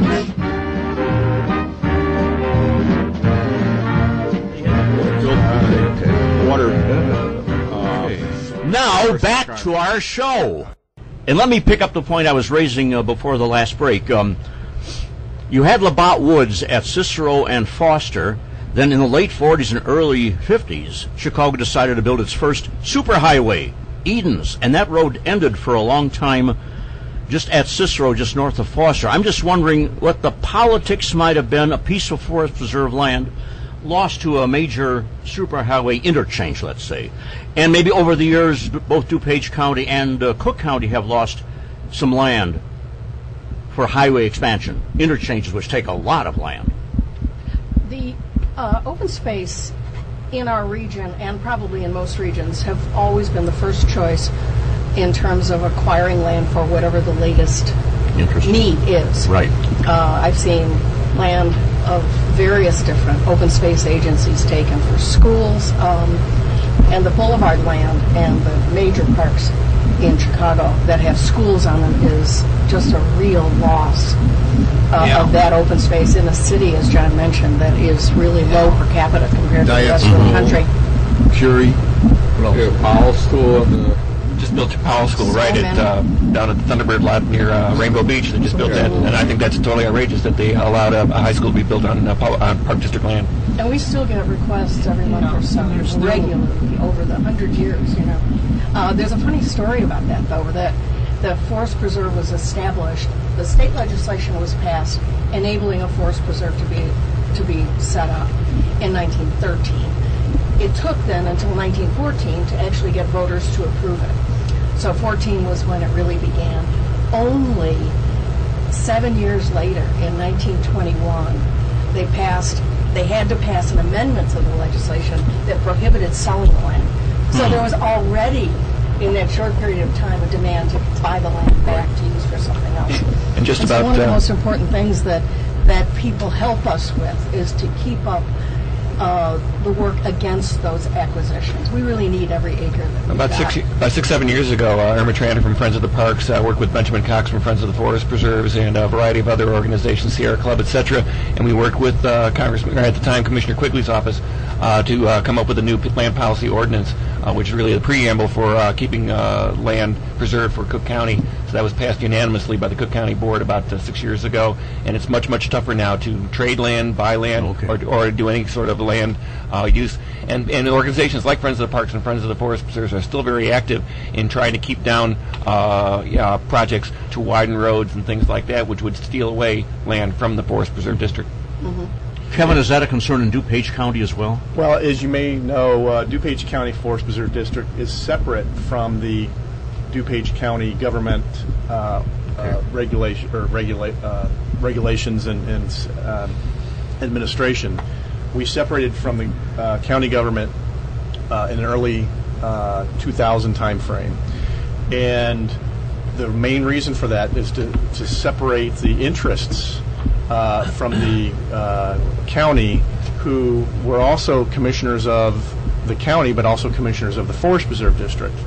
And so uh, we're one of two counties in Illinois that are separate from the county administration. Uh, and the main reason for that, again, was uh, because of the uh, interest to put roads through forest preserves, to uh, add park, uh, excuse me, parkland, or even um, um, school land to uh, forest preserves. And so it it's a separation of interests was what reason why we did it, and it's worked to our benefit. When when someone wants land from the district, we fight tooth and nail to uh, make the best um, interests in the in the forest preserve. periodically we get contacted by IDOT who needs to widen roads and intersections uh, for traffic needs. And uh, when we uh, enter into an agreement with uh, IDOT, uh, we best we basically make sure that we get the best uh, interests in the in the forest preserve met, and uh, it, it's not simply given to the uh, other governmental entities. One of the things we're missing in this in this region, but for a few precious places, um, are those areas without roads. You know, um, we have our largest set of holdings is down in the Palos area, and we have about 10,000 of our 68,000 acres down there. And you really can get so deep into the woods. We still have some roads, but they're relatively low, low traffic roads for the most part. But you can get so deep into it, you really understand what it's like to be totally in nature, which is something Chicagoans just never get to do. Well, the other question I got for you, uh, a couple of years ago, I know they were talking about separation of forest preserve from the Cook County Board. Uh, how far has that gone? Actually, it was proposed in the state legislature a couple of years ago, and then Toni Preckwinkle was elected, and she's a very strong advocate for open space. She's a longtime kind of sports person and open space person herself. And so it was, it pretty much dropped because she's a very good steward of the land. Mm-hmm. And it, it, if she were to leave, I would imagine it would come up again. Okay. I thought Toni was a guy. Toni Preckwinkle. See, you were, you should grandma. remember. Yeah. No, She's a grandmother. I'm a grandfather. oh, I'm sorry. The grandest. But Do all the other Chicagoland counties, like Lake, McHenry, Will, have their own forest preserve districts as far They as you do. know? Good. Okay. So that's Uh, kind of they're all uniform. virtually the same, some kind of conservation district. Right. Uh, McHenry County has a so-called conservation district as opposed to a forest preserve, just slightly different. But we're all united, we meet regularly and try to share best practices. Very good. With this this business about roads, though, I mean, it seems like the uh, the principle of eminent domain in the in the best sense, not like the I want to tear your house down because you want to put up a shopping center, but actually to put a road through is, is, is should be in place there because uh, I, I know um, Marquette Park, which I used to jog around a lot, run around a lot. Matter of fact, in the, in the middle '60s, before jogging became the name, if you were out running, Somebody it was was a long time ago, you can tell. Somebody Anyway, was chasing you? they, they look behind you or ahead of you. and, and another thing they do is pull up and go, hop two, three, four, or or run, you illegitimate child, you know, something like that. You fat illegitimate child, or something like that. There were insults always like that. That became more commonplace. Where was They're that? insults. Yeah, right. Yeah, right. They're observant, aren't they? But anyway, um, Typical Marquette Park. but I know uh, Marquette Park, um, Kedzie stopped at Marquette Road, a boulevard, and the Marquette Park was there, and then picked up again at 71st. They put it through somewhere in the 1930s because there used to be an 18-hole golf course there. So right there you have a eminent domain and uh, probably the best use. I think that probably helped the traffic situation. That, We could probably go on for a long time related to, you know, the need for roads and the need for open space. Um, you know, working where I do and kind of believing what I do, I think we open space is so hard to replace. Um, and roads, there are so many different ways for people to get from one place to another. And I keep timing things for my own purposes, but you know, going around an extra block this way or an extra half a mile that way or whatever tends to add what five minutes to your If even that, yeah. if that. Um, you know, people just don't like to stop or be slowed down.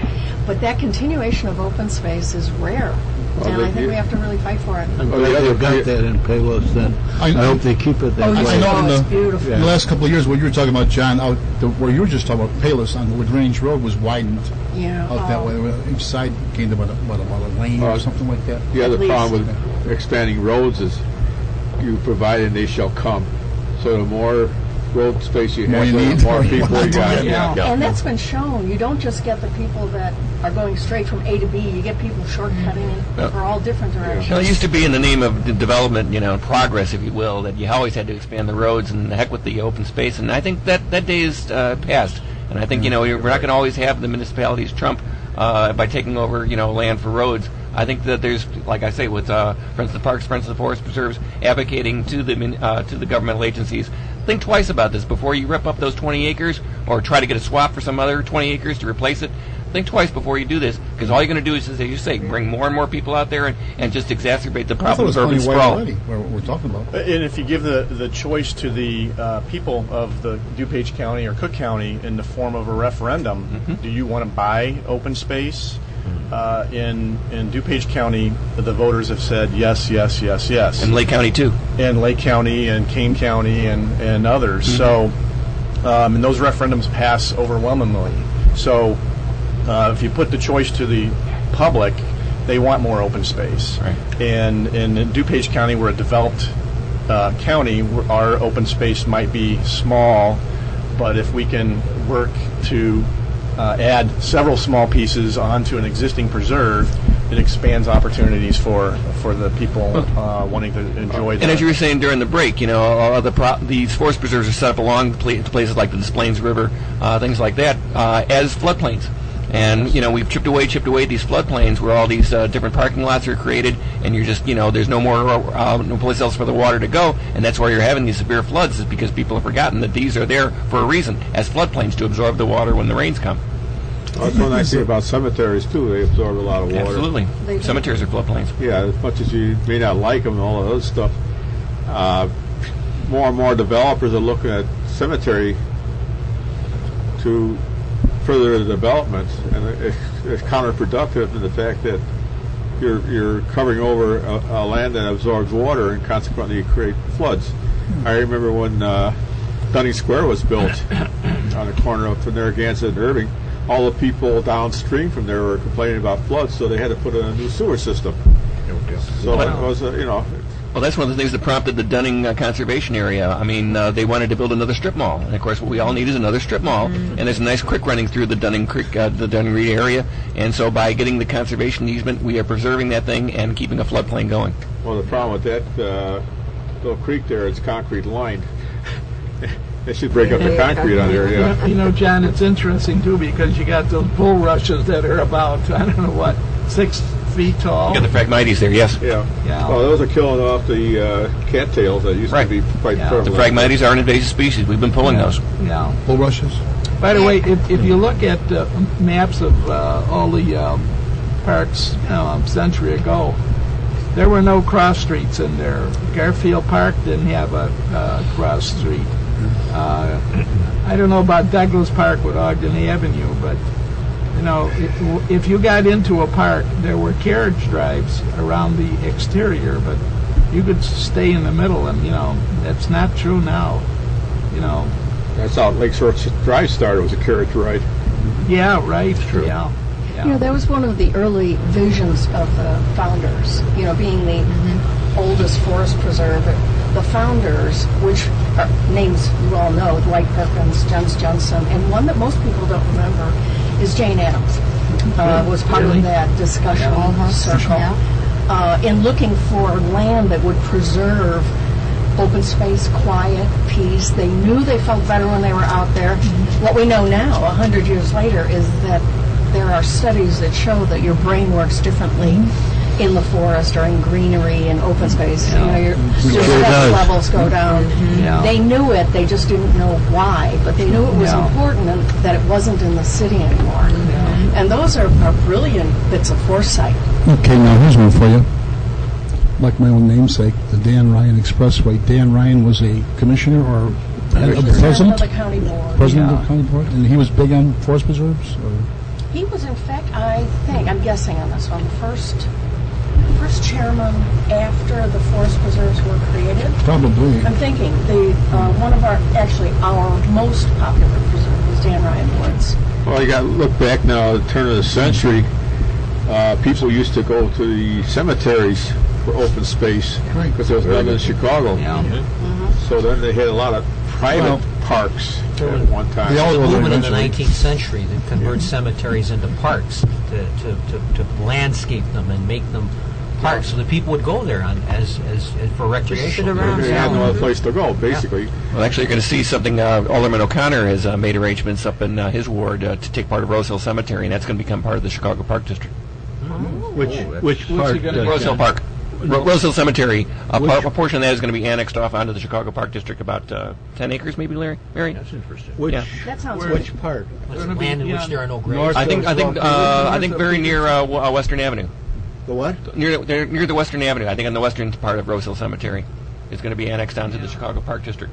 Because Oh, yeah? Because there's always talk about people Well, they wanting were that land supposed along to- Western for strip malls and such. Right. No, and it's going to be cemetery it's going to be trying converted into a park. So Well, there are no interesting. graves in this area? I No, no, presume? I mean it's unused right at this point. Right. So Rose Hill is making a deal to. Uh, I don't see where it is because my family's buried there, and we have Yeah. the fire uh, monument there, and, and It would be I just an I- no, I know. I'm, I'm familiar with the fire monument. I go there every Memorial Day and uh, observe the uh, this, uh, But, uh, services there. Sure. Uh, what uh, I, I just don't see where it is. Uh, uh, to the to the south. Mm-hmm. I think of to the, entrance I think in the southwest is an area. Asian hmm uh, burial uh, uh, thing there, and that's really taken off.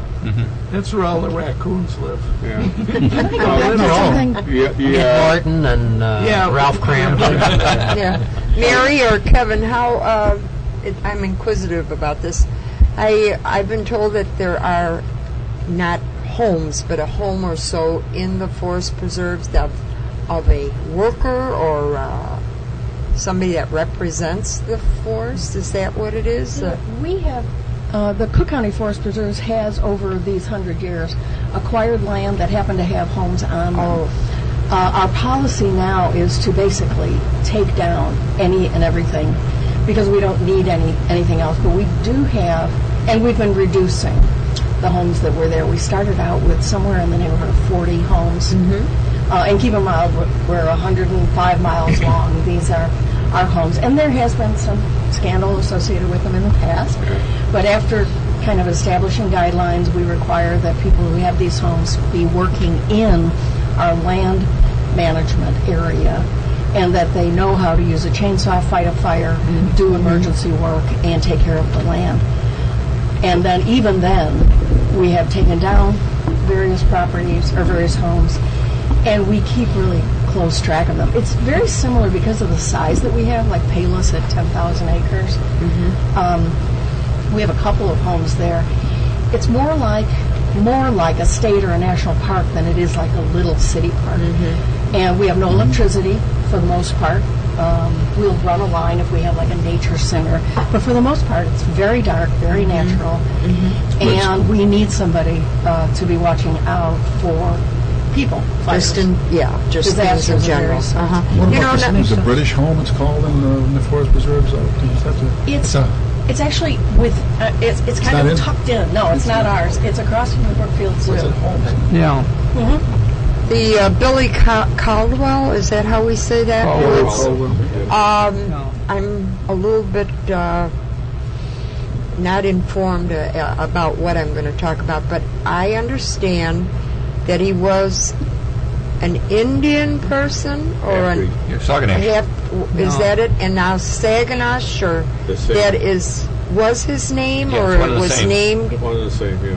Okay, so that's that's the correlation of Billy Caldwell. Yeah. And in the world of things, that's it's not that far from LaBagh Woods. And- Yes, Yeah. exactly. But and I mean, the base, you can actually get from there right near Foster uh-huh. and Caldwell up through the forest preserves, Sure. connecting to the Lake County Forest Preserves, and with just a few jobs, get all the way into Wisconsin. It's one of the nicest connections Yes, it that is Chicagoans can really. have. But I had never. Uh, Well, the other one, But Is they, Lake those two Zurich names in together. Lake County? Uh, uh, You know- John, Sorry. is Lake Zurich? Is that in Lake County? Um, County. I think it's I- I good. believe Yeah. it's- County. Switzerland. This this brother I think uh, it's brother-in-law of Lake mine County. had a big place there. He's a multi-millionaire.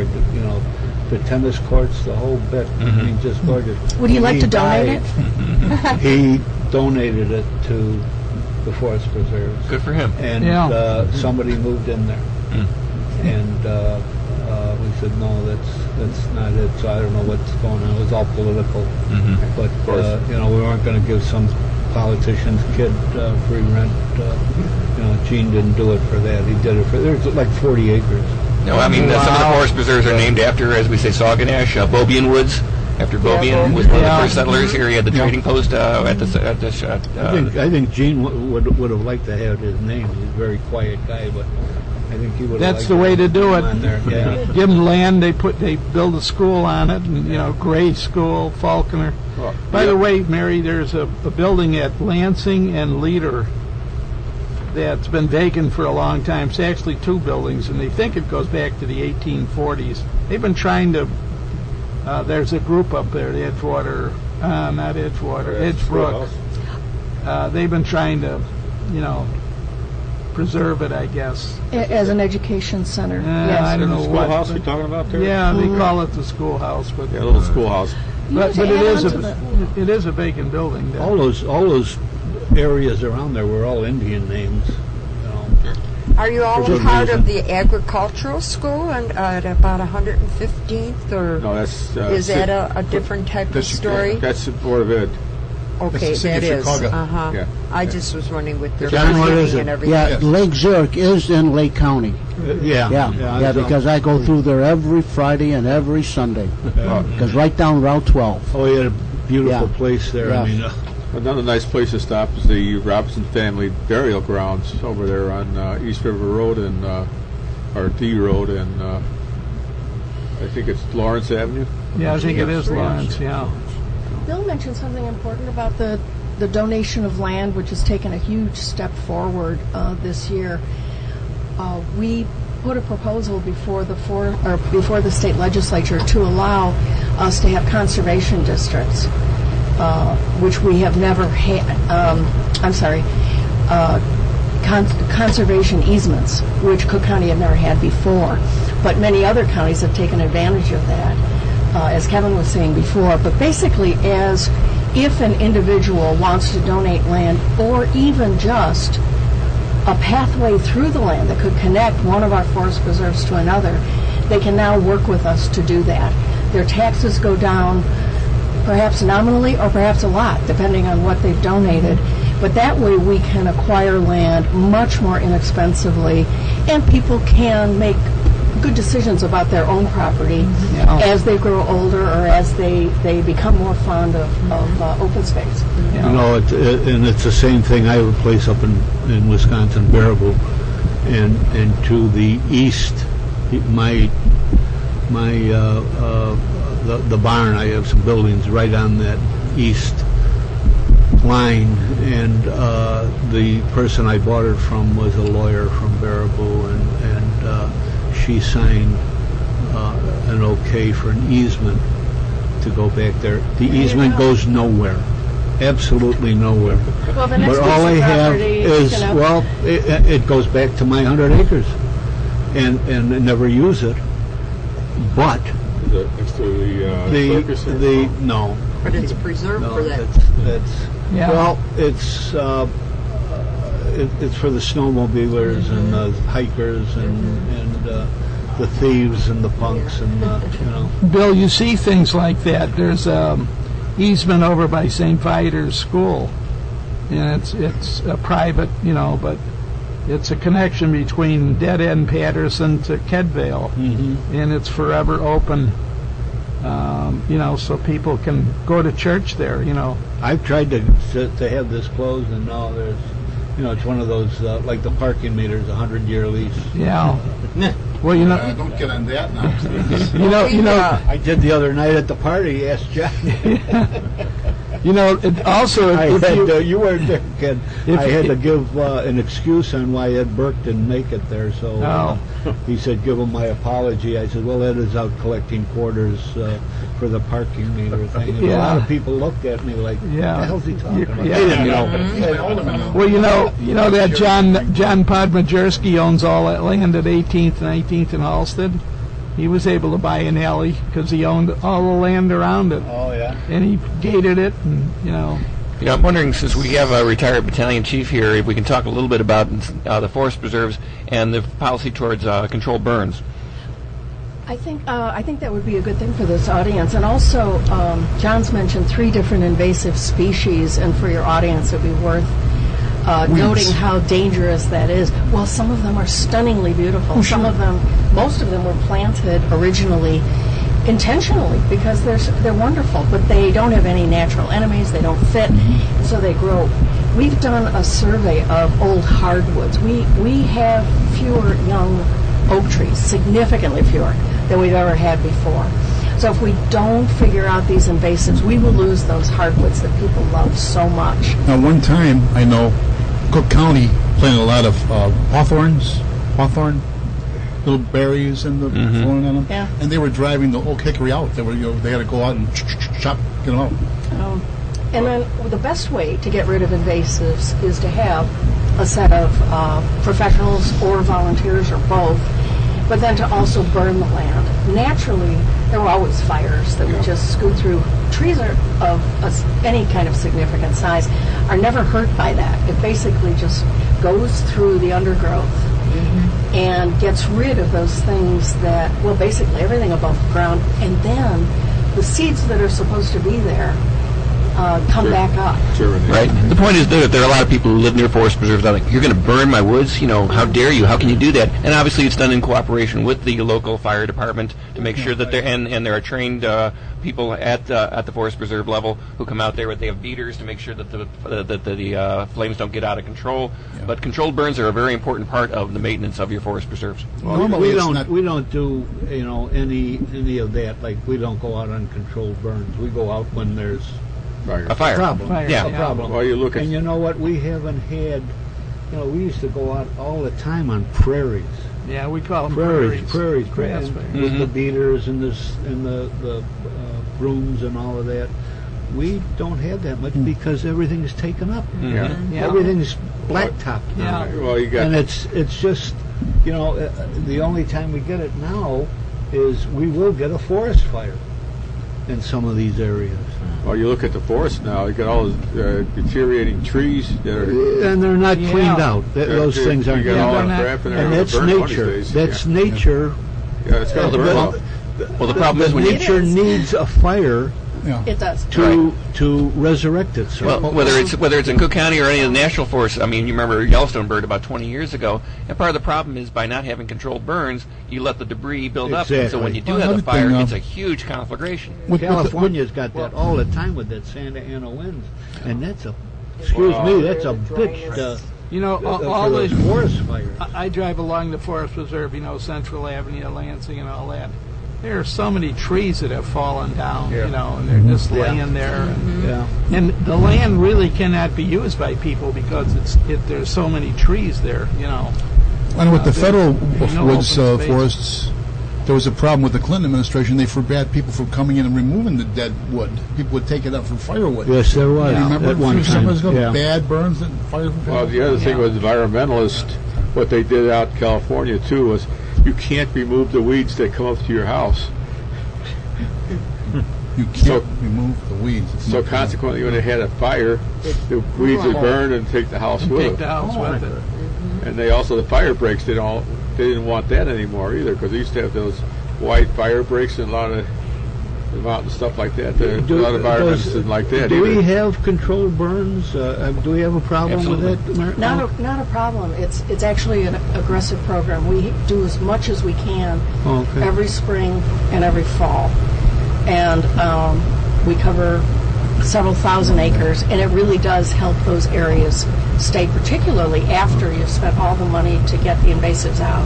You have to keep them out by burning them Sure, yeah. every Um, other year, or maybe once every three I, I years. just got, I don't know if John did, I just got a notice that uh, uh, uh, no fire burns up in Sauk County. I don't know what, where Isn't John is in that, but, uh, uh, you know, because of the weather now.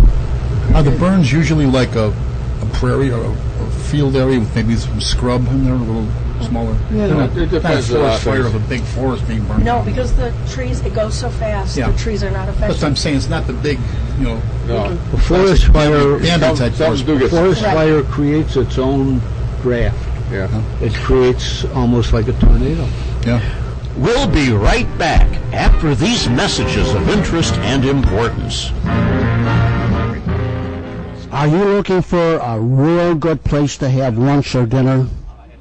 Well, I have just the right place for you to go. And that is Sorrento's Village Restaurant and Pizzeria, which is located at 2318 North Mannheim Road in Melrose Park. Now, every Friday from 5 o'clock in the afternoon till 8.30 p.m., you can enjoy their all-you-can-eat buffet and pasta bar. A perfect way for families and friends to enjoy a delicious fresh meal together for just $12.95 for adults and $8.95 for children 10 years and under. Sorrento's is proud to introduce its Friday night buffet with pasta bar made to order, fresh pasta with your choice of vodka, four cheese Alfredo, or marinated sauce, plus Sorrento's delicious meatballs and sausage, and a buffet that is bursting with flavors from rosati, seafood and chicken dishes, and a variety of Sorrento's pizza and full salad bar and garlic bread. Again, just $12.95 for adults and $8.95 for children 10 years and under.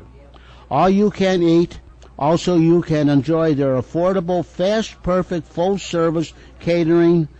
Catering might sound expensive, but when you choose Sorrento's, we do the work and you take the applause for a memorable party for every occasion or use one of our beautiful banquet rooms accommodating 20 to 200 guests. Many catering orders can even be prepared the same day or within 24 hours. No other weekday lunch buffet is like it. Sorrento's weekday Monday to Friday lunch buffet is perfect for business get-togethers or even funeral luncheons soup, salad, pasta, vegetables, freshly baked bread, and meat or fish plus dessert. You can call 847-455-9440 for group prices. Now on Tuesdays, if you purchase a regular soft drink and enjoy the famous buffet at half price off. Remember, for the best food in town, go to Sorrento's Village Restaurant and Pizzeria, which is located at 2318 North Mannheim Road in Melrose Park. They're on Mannheim Road, just south of Fullerton Avenue on the west side of the street, and plenty of free, free parking. All you, uh, you can call Frank or Sam at area code 847-944 that's Sorrento's Village Restaurant located at 2318 North Mannheim Road in Melrose Park. Once again, you can call area code 847-455-9440. That's area code 847-455-9440 for the best food in town. And don't forget their Friday night all-you-can-eat buffet for just $12.95 per person or $8.95 for children 10 and under from 5 until 8.30.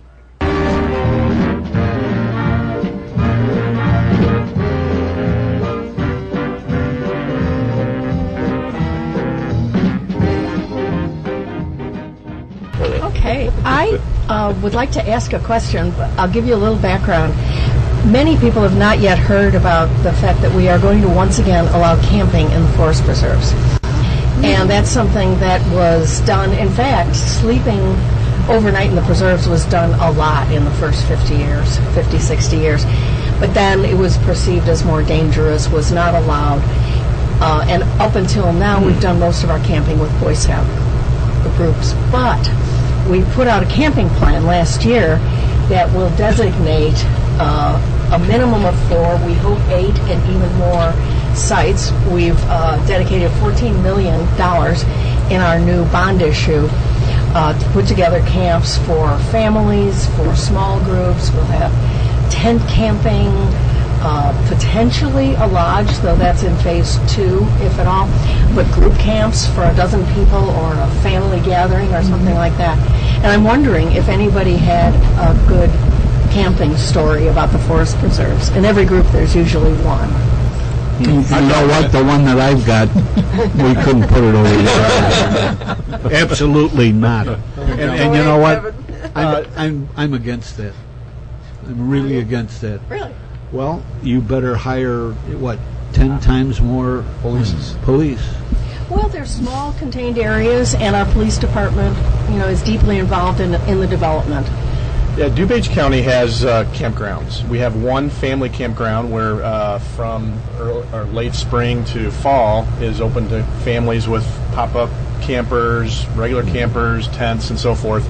Uh, we also have five uh, youth um, group campgrounds where the Boy Scouts, Girl Scouts, families, large get together, yeah, can get together and, and camp. Uh, my story about, uh, in fact, it is a DuPage County uh, family campground at, at Blackwell Forest Preserve.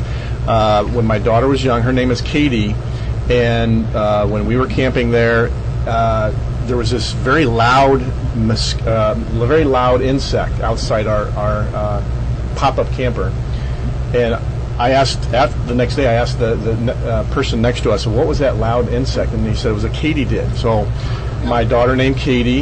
You know, we now s- gave her. Uh, you know, mentioned that the uh, insect has her name in, and she was very thrilled about that. Grasshopper. And they've got a very unique sound to them, very loud and unique sound. Like a cicada.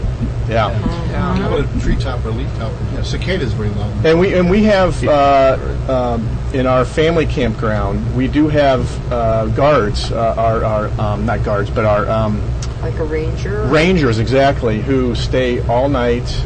Uh, the the gates are locked um, so that the, no other campers can come in late at night, uh, and then they're open in the morning. And where would that be? That's Uh, in Blackwell Forest Preserve uh, near uh, Warrenville, Illinois. That's good to know. Check it out Is that very tomorrow. far from you? Yeah, and just the way Kevin was uh, discussing it, that would be, then I, I would accept Oh, it if it That's had something. Warrensville. Uh, uh, this is Cook County. No, I, I Chicago. know. I mean, I know. Do You the, know, do the, I'm by Schiller Park. You, sh- do the Cook you know, County, that is- the forest preserves, do they have mounted police? We, uh, we are thinking actually about that. We do not now. You don't? We have contracts that from time to time, through which we, time to time, get mounted police from other jurisdictions, and they will help us with a special event or something. We're intrigued with it. Uh, they're fabulous at crowd control. They're also good for public relations. People feel more comfortable. Good for the Kids, I mean, kids just love this. I would think it would be of great value to have, you know, particularly in summertime, you just have, have officers on horseback just riding through It would be the great. They, they, it is expensive, you know, um, and you also have to have highly trained people that are pretty much with each animal. You can't just use them like cars, you know. Um, but it is it is an interesting and, and valuable idea. We have uh, a volunteer group called the Trail Watch Group, and these are people often on horseback. Uh, or also on foot, but they're people who regularly use the preserves, and all they do is observe and report but they quite frequently will see something amiss. Um, in fact, when there were a lot of uh, thefts in a couple of our parking lots, and we knew that it was a gang of, of thieves that were working several adjacent parking lots over the course of weeks, and our officers were trying to, they thought they had found the car, and they were watching it, and they kept watching, but there were two women uh, that kept circling the car and then going away and coming back. And I thought, how are we ever going to catch these miscreants if these women are around? And so they finally approached them, and the women said, we think these are the guys that are thieves. And we had to say, no, can you get away? And sure enough, somebody came, drove the car away very quickly, and, and the women were the only ones that had the license plate number. It was just a wonderful, wonderful story. But we have really dedicated folks out there. And Mary, sa- sadly enough, that's starting to happen at cemeteries. Mm. And uh, I know someone that was a victim, and it was two women.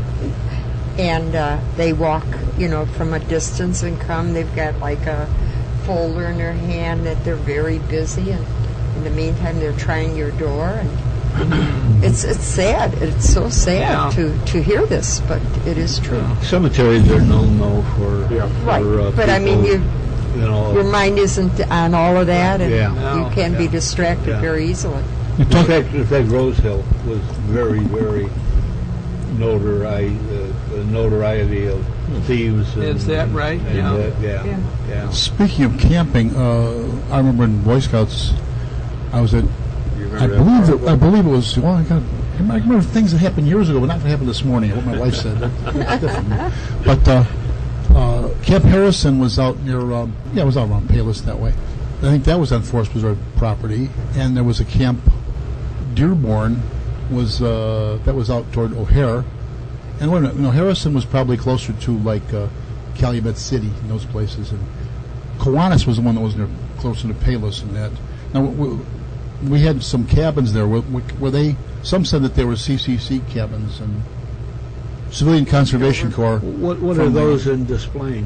Uh, uh, We have a number of, of sites and buildings that were developed uh, by the Civilian Conservation Corps. We're hoping that an historian during our centennial will want to catalog that. Um, there, we've never had a real historian on staff. I know the Chicago Park District does. And, but we did uh, wind up having a wonderful partnership with the Gaylord and Dorothy Donnelly Foundation, and they funded the archiving of all of the old work at the University of Illinois. There's actually more than two million pieces of letters, maps, various kinds of correspondence, official documents, and so there's there's a great place where someone could get a lot of this history, and, and the CCC I think would be one of the best kinds of books. The photography would be great. The architects were wonderful, and the painters, um, and that was at a great point in the district's history, a great great growth point. Ma- Mary, to piggyback on that, um, the DuPage County Forest Preserve District's anniversary, 100 year anniversary, is also in 1915, or excuse me, 2015.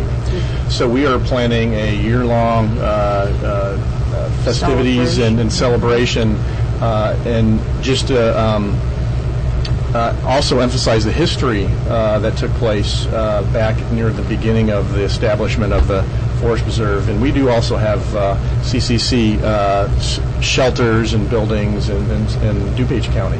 So we're not as old as Cook County. We missed it by about a year or so. Uh, but our 100 year anniversary is in uh, a couple of years. we won't hold a year against you. Come on. Yeah, and then also to mention, uh, you know, that's two years from now. But I would like to um, mention that we we have programs year round, uh, as does uh, uh, Cook County Forest Preserve. And in fact, a couple upcoming uh, programs. Uh, we have what's called the Family Field Days at one of our newer preserves, St. James Farm Forest Preserve, where it's a whole day of equestrian activities and picnicking, and there's a, a bluegrass band going on, and, and so it's an opportunity for one day for uh, the day before, Mem- uh, two days before Memorial Day.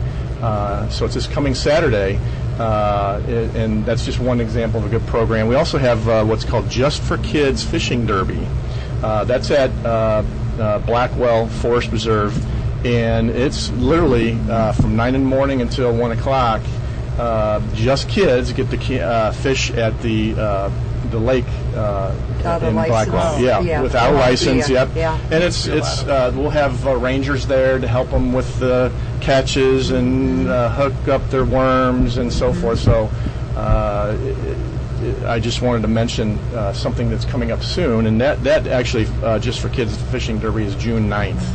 Uh, in Where does that lay along? What what roads? uh, that uh, Blackwell is uh, along um, Butterfield Road, again in Wa- Warrenville area.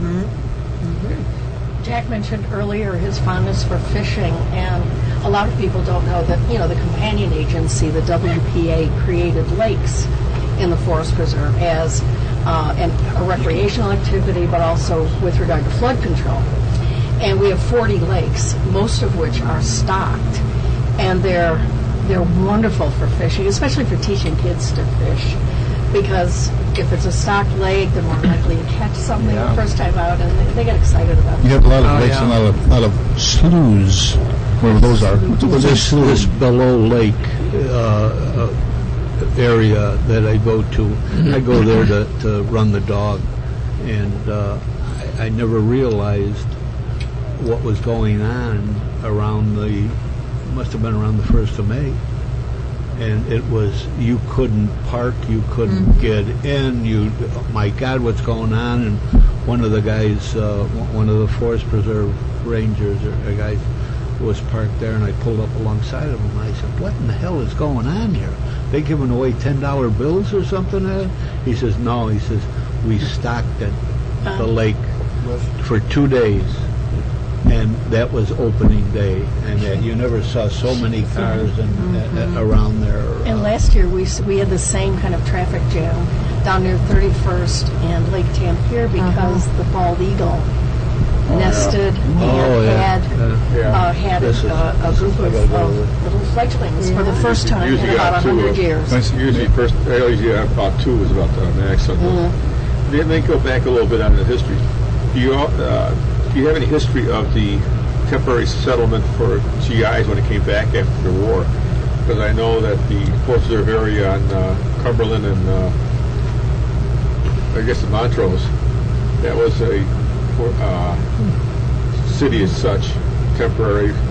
Is there a history on that somewhere? Actually, we'd love somebody to write that one as well. It's surprising how little has been Recorded. together, but how many pieces of evidence there are. But we did have at least one POW camp.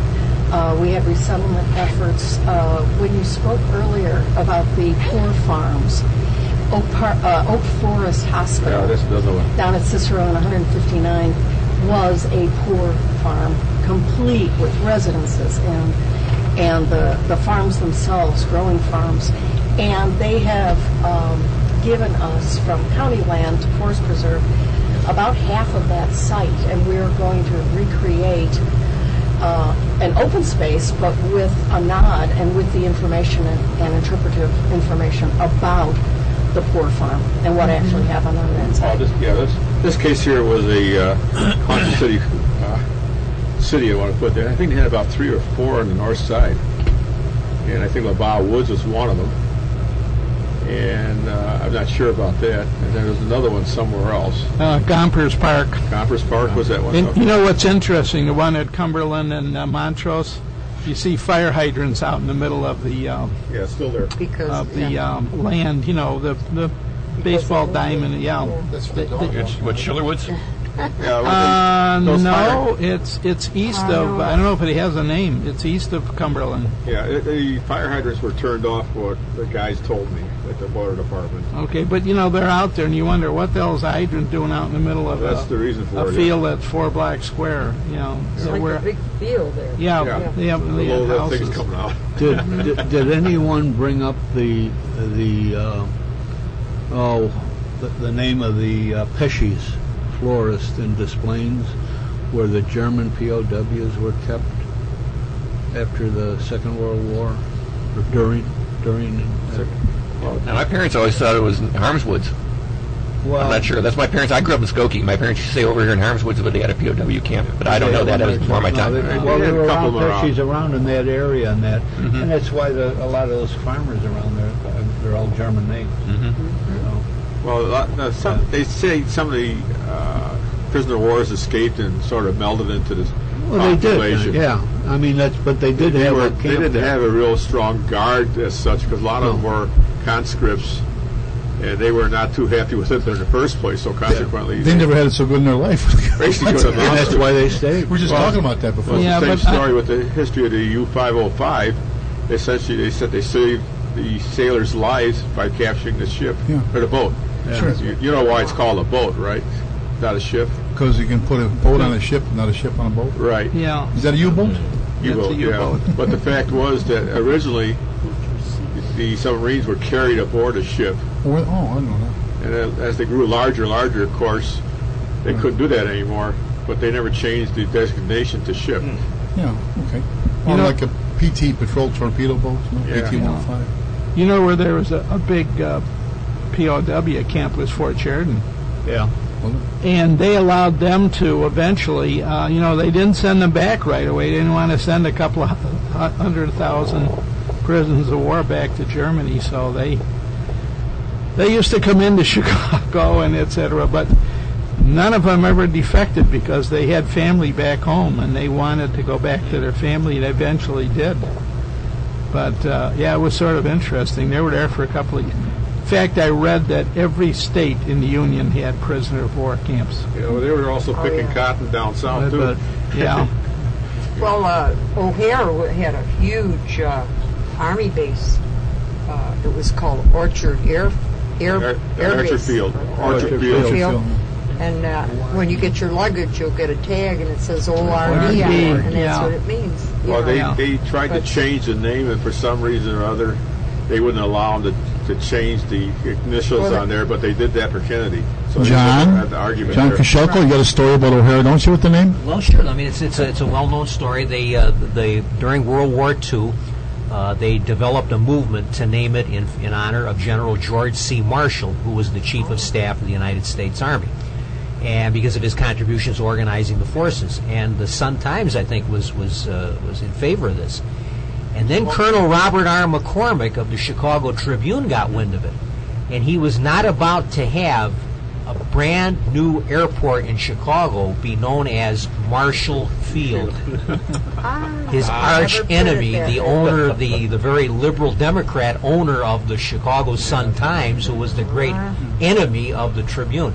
So he started the movement to name it for Butch O'Hare, a real combat hero, not not a not a general in the Pentagon, but a combat air officer. One and actually, guys. that that took off, I mean, everybody wanted it named for O'Hare. So that's how it became. besides- that's how it became O'Hare, or as the first mayor Daley called it, O'Hara. No, besides, you know, And Butch they'd O'Hare have to was, change uh, it to Macy's, Professional Medal of Macy's Honor Field winner, today, he was an right? ace, and, Right. and then once he died, he actually he was pulled from uh, combat for a while to do on tours, and Yeah. but then he went back to combat and he died was- in, was killed. combat. Yeah. But he was one of the was son first a- great American heroes of the war. Yeah. Well, son And of so an that outfit, scotched uh, the idea because he, like I where? say, he did not want people landing in Chicago at Marshall Field. Yes, yes. You know that. Oh, but the field, the fire department always called the field Douglas Airport. Yeah. well, We they- provided fire protection, They had a Douglas but plant uh, there, yeah. yeah, but Oh, uh, but because of the plant?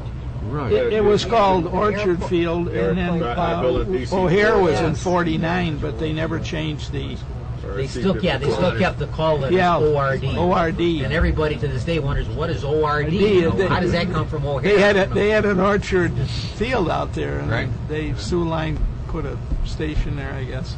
Well, the, Yeah, yeah. I think and- ironically Old Orchard has But they got a ditched name it. from through that, But or? the, in New York, when Idlewild, it had been IDL. When it became John F. Kennedy, it became JFK. They Right. changed the letters for Right uh, away. Kennedy Airport. But the, uh, Take care. It's been a They could do pleasure. about that, and they wouldn't change it, wouldn't change it, so they just stayed with it. And, uh, but yeah, uh, Old Orchard, well, they had the DC fours or the C fifty fours being built there for many years, and story on that was they had eighteen by eighteen inch beam, uh, columns in there, but they were laminated columns.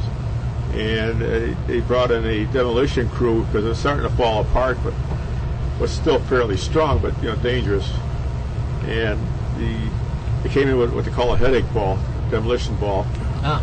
and they said no problem, let's just knock it down. No, you know, it bounced. They tried it a few times, it just bounced. It just didn't go down. So they Yeah. had to go and take it apart manually, and all of a sudden they had a big fire there. So that was the end of that place. Yeah, but you know the, the the main building was about a mile long. It's Yeah. called Building Six. Big, big H shape, small H. The fi- uh, Chicago Fire Department was in there, which was interesting because it was not in the city. But I guess you can do anything you want. But, Neither were half the firemen. pardon? Hey, hey. Ooh, could Hey. be. So That was the that whole they- thing out there They had to have that corridor out there. Yeah. bring the that whole that whole thing is just uh, No offense, Yeah. Bill. But that- all the firehouses. No, That I, I was gonna, I was going to segue from from airports to uh, model airfields uh, with the Oh. Forest Preserve District. You know, that's Yeah. a popular. We've got four model airfields in the Forest Preserves where people with their remote these control. very, very tiny airfields that uh, Yeah, well- right here, right here at Irving Park. Yeah, Yeah, well, 107th and Lagrange Road is one. Yeah, in the so county. that's one of the activities people are interested in My model wife air. had a They bad can, uh, accident remotely uh, fly over their forest preserve Yeah. uh, with their model air. We have one model boat uh, facility where Really? people can remote control uh, with their, their boats out on uh, one of the local ponds. Uh, so there's lots of activities that can uh, happen in the forest preserves, and, and, and what's been able to allow us to do that is the, this, uh, since the 1960s, we've added you know, many, many, many thousands of acres of, of land for uh, trails. Uh, we've got five educational facilities. Um, we've got a, a wildlife uh, uh, uh, sanctuary where the wildlife can be brought to the facility Injured. and, and, Ooh, and injured that's, animals. that's nice. and, yeah. and re- rehab them and let them go back out into nature if they're able to. So uh, the the one thing I want to emphasize is um, that uh, the Forest Preserve District actually is a, is a great value to the residents. Um, in, in DuPage County, we all we all get property tax bills, but if you look at the one of the smallest line items on the property tax bill is the DuPage County Forest Reserve. Two percent of your taxes, which might amount to hundred dollars or a couple hundred dollars, goes towards forest preserves and all the programs and all the um, uh, trails that we build and all these uh, shelters and parking lots to open up the preserve. So we want to emphasize the great value that you get uh, uh, in, in our forest preserves. Well, John, like at Maple Lake in Cook County, you can go out there, you rent a rowboat and go around on the lake for a while. You know? We've got those Fish or too. not fish, you know. Absolutely. Yep. We've got uh, canoes and uh, rowboats you can rent uh, at local lakes. Uh, the we've got major rivers in DuPage County. Uh, the West Branch DuPage River, the East Branch DuPage River, and the Salt Creek, uh, all of which can you can canoe on. And also, so much is free. I mean, when we say everything's Yeah. so expensive, Yeah. it's something Yeah, to think wanna- That's, about. that's why they, they, they now have this uh, common term called staycation. So you don't have Uh-huh. to travel to Florida, you don't have to travel to Michigan. You can stay Mm-hmm. locally and, and uh, uh, go for a hike, go for a bike, go for a canoe ride, go fishing, you go camping. Yeah. Well, one of the one of the cri- criticisms they have of Cook County is Chicago pays the, the forest reserve system, where a lot of suburbs don't have any park system, so they use the forest reserve. So they should encompass more of the load because of the fact they use it for a dual purpose. Where many of the people in the city of Chicago can't really get to the forest reserve because it's, you know, most of it On the fringe. on the of fringe, the you know, city. stuff like that. Like City So Hall. big- Yeah, yeah, that's on the fringe too. You know, there's uh, obviously most of the uh, 68,000 acres of uh, forest preserves in Cook County are in the suburbs. Very few, I think, only about five or six thousand acres are in, are in uh, Chicago itself. But a few years ago, uh, we worked with the Forest Preserve District of Cook County and the Friends of the Forest Preserves. We have Friends of the Parks. We published a thing called the uh, uh, uh, 10 uh, uh, preserve uh, to get to the forest preserves by public transportation. So we actually published a guide, and it's available on our website at www.fotp.org, and you can get a, download on how to take public transportation to the forest preserves. Well, 10 city escapes is what we call before, it. Before I arrived here at noon, uh, I had some time to uh, spare, so I actually did a tour of the preserve uh, that's directly west of Norridge. Mm-hmm. yeah. And for probably about 20 minutes, I was driving in and out of their parking lots and mm-hmm. checking out the, the trails that they have and the picnic shelters. Schiller Woods. Schiller Woods. Yeah. Mm-hmm. For the most part, yeah. Yeah, so I, that, I mean, there's a Very perfect example. People are already in the It's forest right preserves there. at noon, uh, enjoying Oh, the forest sure. preserves. Or Well, hold that, Sunday hold that thought a moment. Well, one of, the, one of the funny stories about uh, Schiller Oh, excuse me, Al. It's time for another brief intermission. We'll pick it up right after we come back. You've been listening to Meet the Chicago Historians, and we'll be right back. You should be doing this from the forest. Hey friends, how are the tires on your car? Do you need motor oil or transmission fluid or power steering fluid? Antifreeze? How about the wiper blades? Are they in good shape? How is the the washer fluid in your tank? Is it full?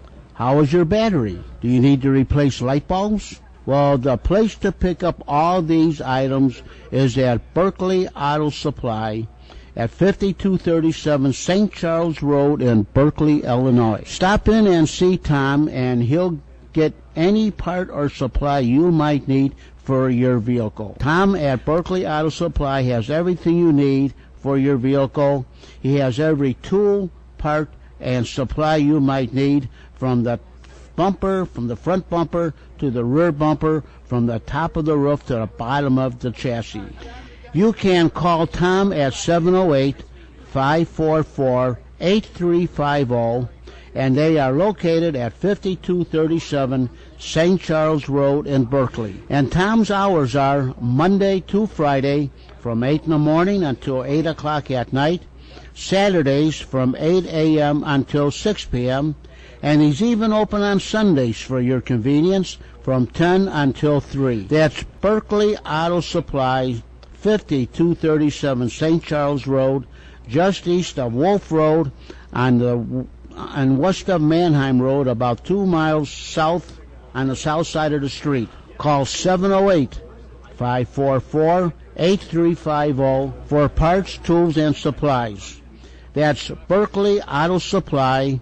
His phone number once again is 708 544 8350 and he's located at 5237 St. Charles Road, just east of Wolf Road and west of Mannheim Road, about two miles south on the south side of the street.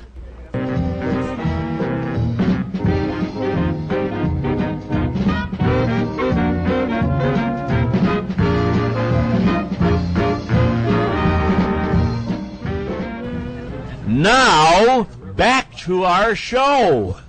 Hey. I think we're enjoying ourselves here, everyone. We did lose a few people, had to leave with other appointments. Um, In respect to our Mary guest, left, uh, Mary Laria, La- La- Laria, Laria, Laria, Laria, Laria. and Kevin. She's from Cook County, and Kevin Stahl is from uh, DuPage County. They had to leave the other appointments, but we can continue. We've still got John O'Connell, my cousin over here, from the Friends of the Park. You want to give your website and everything for uh, Yeah, who listening? Thanks, Jack. Yeah, once again, we are Friends of the Parks. we are here to uh, preserve, protect, and uh, improve uh, Chicago's parks. And for the last 10 years, the Cook County Forest Preserves. Pardon me. Our uh, website is www.fotp.org. And, uh, you know, earlier you asked me about some of our programs. And, of course, uh, we talked about policy. And we talked a bit about uh, pres- preserving the Dunning-Read Conservation Area. That's really under our volunteers program. In fact, just a couple of weeks ago, we did Earth Day. Uh, we usually organize about uh, 4,000 volunteers. We had 133 sites signed up on the 20th of April. Uh, that was our 24th year of doing Earth Day. We like to say we're the largest Earth Day uh, cleanup uh, in the Midwest. So that's part of our volunteers program. We also have a neighborhood parks program. So if people want to start an advisory council or they're looking to get some uh, small funds, we have a small se- seed grant program to get people started if they want to do, say, movies in the parks or buy gym mats or whatever. And uh, we help get organized the uh, advisory councils. If they can't start as a 501c3 nonprofit, we will let them use our designation so they can do fundraising. Because a lot of the times the park district looks to uh, have uh, these local park advisory councils uh, contribute something or help to raise money if they want to renovate, say, a playground or something like that. In fact, uh, speaking of playgrounds, a big part of our uh, our neighborhood parks program is this new program we're working uh, in uh, conjunction with the Chicago Park District. We're calling it Chicago Plays. You may have seen an announcement on that about six weeks ago. Uh, Mayor Emanuel went on and announced this uh, partnership between the Chicago Park District and the uh, uh, Friends of the Parks. Uh, whereas uh, for over the next five years, we're going to renovate uh, over 300 playgrounds. Uh, Playgrounds, uh, you know, uh, were renovated very much with the soft surface program in the 1990s. They did about 100 a year where they put in the uh, railroad ties and the wood chips, or we call it five-bar wood chips, uh, as a soft surface enclosure. And then they pretty much stopped uh, doing a lot of uh, playground renovations. And then the, the renovations they were doing with this new colorful steel equipment, uh, like I said, the ones before were, were redwood equipment. Now they're doing these steel type ones with the uh, soft surface, the rubberized mats and that got to be very expensive. You're costing costing maybe a half a million dollars a year per playground. So the uh, park district only has about a three or four million dollar per year capital budget t- towards designated towards playground renovation. So they're only doing about five or ten uh, playgrounds a year, and you say, well, that's not too bad. But yeah, but when you have over 500 playgrounds and you do 10 a year, it's going to take you, you know, several like 100 years to replace all your playgrounds. So So uh, why, why kill the job, you know? yeah. So obviously we uh, we uh, we came up with a better solution. We're going to be using uh, the fiber again, the soft surface wood chips, and instead of doing uh, 10 a year, we're going to be doing about 50 a year. And Friends of the Park's uh, job is to uh, be the community outreach because we found that uh, when the community is involved, uh, the playgrounds and the parks stay cleaner and safer. When the park district goes in there and just renovates the playground without any community input, oftentimes you'll find graffiti and vandalism that takes place at those playgrounds that aren't adopted by uh, by uh, communities. So we we we have an adopt the park program. And as I say, we uh, there's a screening process to get these new playgrounds is going through us, and we have to see a lot of community involvement and really adoption of those parks before they'll be approved. So we're going to do between 35 and 50 parks in the, uh, this year, and uh, 50 uh, for four more years thereafter. So we're going to have about 300 parks uh, renovated over the next five years. Well, that, that that's an excellent idea. If you can bring the locals involved, and they feel like they have a stake in it, like it's Yeah. theirs. Yeah. Good example over near us, the Burns School, it's a great school, elementary, kindergarten through eighth grade, uh, Oak Park, and what would it be, 53rd, 54th there. The grounds are beautiful. Uh, beautifully landscaped. Everything's taken care of. There's one end is just like a like a little park area where everyone meets in the afternoon. Kids play there. They have the kids actually working, the upper grade kids working on the landscaping. Absolutely. So that Why that's, not? I know a friend of ours, teacher. She happened to pass by. She said, "Where's that school over there?" She couldn't get over it. There was a city park, you know, city of uh, Chicago public school. It was so beautiful and well kept, and that's, so that must be the answer. Well, that's our other program. Uh, I talked about policy, and I've talked about neighborhood parks, and I've talked about volunteerism. And our fourth program is really we call it uh, our environmental education program. So we actually partner with the Chicago Public Schools, and we have a program called Nature Along the Lake. And you'd be surprised how many kids have grown up in this city have never been to the lakefront. So we are allowed to use uh, the Corinthian Yacht Club at the Montrose uh, Harbor allows us to use their uh, location. We take these kids there once, twice, even three times a year in fall, winter, and spring. And we give them, uh, they walk the Magic Hedge there, which is a growing dune, and they do maybe a little water testing, a little uh, birding, a little fishing. Basically, what we're doing is, and they go back to uh, to their classrooms. They maybe make a collage, a little report about the birds they saw, and they say, "Hey, science is pretty cool. I think I'll work harder at science now." And what we're doing really is training our next generation of stewards.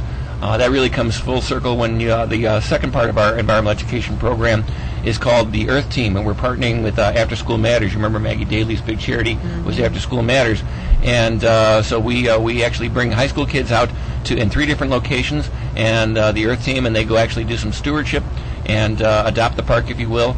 So really, uh, between the, uh, the the grammar school kids and the Nature Along the Lake program, and the high school kids and our Earth Team, we are really training our next generation of stewards to take care of the of our planet. Uh, that's sort of a sad story that I heard from somebody. It's, it's key airmen used to take a lot of the kids from the inner city and take you know to the uh, Thanks. Meigs Field, and the kids came out there, and they first time they ever saw Lake Michigan. Right. And they, they were stupefied. Just guess, miles away, huh? Yeah. Stupefied. They didn't really understand that there was a lake there. They thought it was the ocean. Mm-hmm. You know, so it It is really like, yeah. uh, sad but funny at the same time. You know what, John? This this may uh, hit on that too. Uh, when, when I was in office with the union, I got a call about a a uh, a park is is what they called it at Avondale and Harlem. Okay.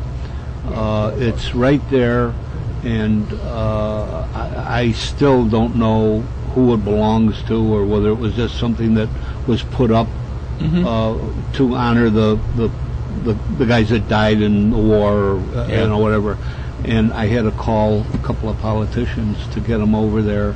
And finally, some old guy came over and cut the grass and that. And that- I mm-hmm. mean, it, when I drove by there, it was really in bad shape.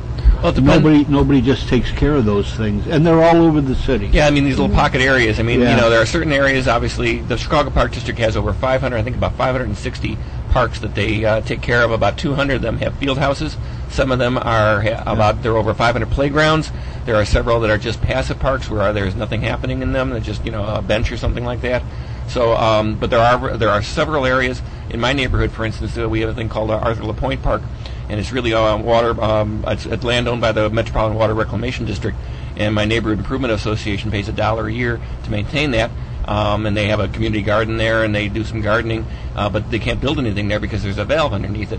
So they lease it from Metropolitan Reclamation District. So people in my neighborhood says, "Well, that's a park. It's a park, but it's not part of the Chicago Park District parks." Well, either is this, I, I, I don't imagine, but uh, I guess it's just for the neighborhood to take care of that. But now you've got generations past, and and they've just forgotten We've about got it. a different Yeah. style of people. Uh, exactly. And also, those were uh, kind of put together during World War II. We would have a dedication area. right. All the guys in Every block had them. Yeah. And also those Yeah. who Yeah, were the killed. And it was military. nice. In Korea take- also. Yeah. Yeah. Yeah, Yeah. and uh, well, they got neglected, you know. Yeah. And then that- you got the other crew who doesn't even know what World What War is II that was. park over on California, uh, south of uh, of uh, of Montrose? That's Horner uh, Park. That's my park. Horner Park. Yeah, you know where the the the uh, flagpole is now that was dedicated to To Officer uh, Ceriale. Ceriale. The Horner Park that- Advisory Council a couple years Are ago. they taking care of that? Yes, sir, we are. We uh, we raised the money. We got over ten thousand dollars raised. Part of it from the Officer uh, Michael Ceriale Foundation. Right. Uh, we put up that boulder and the flagpole about two years ago. Congressman Quigley was there to help us dedicate I it. was there. And the, f- I was there too. And Yeah. the flag uh, we had flown over the Capitol building. Yeah. Oh, there was Yeah. that one. I was Yeah. I was just wondering if they were taking care of it No, because absolutely. I drive by there Yeah. and, and it looks all right, but I don't go up there and take a I- I look used- at it. I went Yeah. to that park a few Yeah. times before it was a park. Yeah. Used to be a dump. For our It was a, it was a, uh, it was a brickyard. They they were uh, mining it for the clay for the bricks, and then it was a dump. And eventually, in the 1950s, I believe it was dedicated to uh, the uh, first Jewish governor of uh, the state of Illinois, Henry Horner. The Henry Horner Monument is there. We've uh, raised money to help clean and tuck point the uh, Henry Horner Monument. We also put a native uh, garden uh, just behind it, from the uh, uh, Henry Horner Monument to the field house. There's a native planted garden that we that we planted and maintained. Okay, I, I, I would hope, I see a squad there every so often that those guys are watching it Mhm. and, uh, Yeah. you know, that it isn't, uh, I, do you know where the, on, uh, again on Montrose and Knox, where they On the west. filled, where they, where they drew the, the, um, memory of all police killed in line of duty? Okay, no, I didn't know that. Oh, yeah, and On the it's really railroad nice. viaduct. On the railroad, uh, Okay. Yeah. thing. And Oh, I'm just west of the highway then. I'm just waiting Okay. for somebody to, to do something And of that. be you know. positive. Well, I, yeah, I, I like to be positive. you positive. don't want to but- see it, but you're just expecting. Yeah, yeah. Well, Some you know- goof over there, and you'll see a couple of beer bottles. Right, and- right. And there, Yeah. And it, it, it it is very It's, nice. it's really nice, does, yeah. I Yeah. did some damage over uh, Memorial over at uh, Soldier Field. oh, Yeah, It always of takes course, yeah. some brave individual to Well, go in at night when no one's around to desecrate a, Yeah. a They're not cemetery or a cowards, though, are they? synagogue or he church. just brought up the, about Soldier Field, and Yeah. we just got uh, the governor. What's his name? Quinn, Quinn, Pat Quinn. Quinn. medicine woman. to sign the the uh, uh, Kwame Raoul, and this was a Oh, a. Gun bill? it was between no, it was it was Law. for the anybody that that Desecrates. uh, desecrates a, a- Oh. a police, a fire, Oh. or a um, uh, uh, Anybody of that official. uh, Mural what do you or call it? something? military uh, monument or that. Uh, it, it was always there. It was always in the law, but but Now it's they're it's practicing. way it's Yeah. way uh, raised. You know, uh, and that was that was uh, the ex police commissioner, Oh, you, uh, superintendent Phil Cline. Cline, and Yeah. myself. Yeah, and we the finally most, got that. the most done and approachable passed. guy we had in there, I believe. Most Huh? of you talk to him. Phil Cline, you can talk to him. He he walked up to me in the headquarters. Oh, and yeah. Are you still living over in the corner? I didn't Yeah. realize you rode his Yeah. bicycle by there every day. He used to be my neighbor on the south side. Yeah. Was that- yeah, was that Nottingham? uh, and, and. Kwame Yeah. is the guy Oh. that, that uh, Yeah, put it Phil through the legislature, Yeah. and uh, He used to ride so that. Mr. Quinn finally Oh. finally signed it. So I, Well, I you got- know, oh, go ahead. I was going to say, I grew up on the near north side. We don't didn't have a park close by. Still don't have a park. I grew up in North in Cleveland. Oh, no, I yeah, grew up you're at right uh, in Thorndale and Broadway, and Pardon? we didn't have a park. side of over there. Cleveland? We had the we had South the side of Cleveland. That's yeah, by the Yeah. elevated. Yeah. I Right, played that's under the L. That's what I was saying before. You know, Park Chicago is very much of a park poor city. Yeah. You know, much more like people like uh, people like New York. New York has much more park space per capita. Yeah. Um, oh, absolutely. When you consider Jamaica Bay They and all must that. be out in the, in the boroughs. Well, then. that's what I'm saying. And out in, out in Brooklyn Borough, you got Jamaica Bay, which is a huge expanse of uh, parkland. Battery Park. So, and Battery, well, obviously things like Battery Park and Central Park and Prospect Fire Park. Island. But uh, the thing that makes Chicago different is though, though we have a lot more field houses, and that takes a lot of expense to build and maintain those field houses. Well, Chicago was the first one to have field houses. Is that right? So Yeah. you started copying it. Marshall Field houses. Well, obviously, along uh, Narragansett Diversey, that used to be our city dump, and uh, everybody had lovely homes, and there was this pile of That was, garbage. that was a Right. good Gravel you know, pit, which yeah. now is the, used to a nice mall. I got you know. photographs of that pit. Yeah, and Yeah. we Brickyard. used it in the winter as a ski slide. The Brickyard know, Mall. Isn't that awful? Yeah. Yeah, You they were Are making they parks. having uh, uh, over at LaBagh? Are, are they still having the slide? Uh, uh, You mean Toboggan the toboggan slides? slides? No, the Forest Preserve Did they District. stop I mean, that now That was on because of? There's one on They- Devon. wait, wait a minute, one at a time. No, the Forest Preserve District, I understand, and it's fortunate Mary's no longer here, but the Forest Preserve District of Cook County, I believe, is out of the toboggan business. I think there was quite a matter of maintaining those runs. They would deteriorate. They're made of wood and, and, Insurance. and, and insurance as well, so Yeah. people getting hurt on them. Yeah, So, liability uh, would so die. uh, yeah, they used to have a lot of toboggan runs in, sh- in the Forest Preserves of Cook County. I Yeah, don't we believe had, there uh, are anymore. Nothing. Oh, Well, no, we okay. had uh, right, Dan Ryan Woods, Swallow Cliffs. What's the one with the big pool up? Um, Wayland Park. Wayland? Oh, right. yeah. I think that was a CCC uh, project too. That pool there. I think you're right. They, when they're no, they're In all the- gone, right? I don't know. I, I argue that, that they were getting a lot of money for you, for what you did because to actually run it, you needed someone in the hot house and someone up on top. Because everybody, you go there and go down a couple of times. We took the kids. We got we still got the toboggan in the garage Yeah, I from used years ago. the kids over Wax it well, and a couple of times, go home. Uh, John, in recent years, did Friend of the Parks take a position on our previous mayor's pet project, fencing in the parks?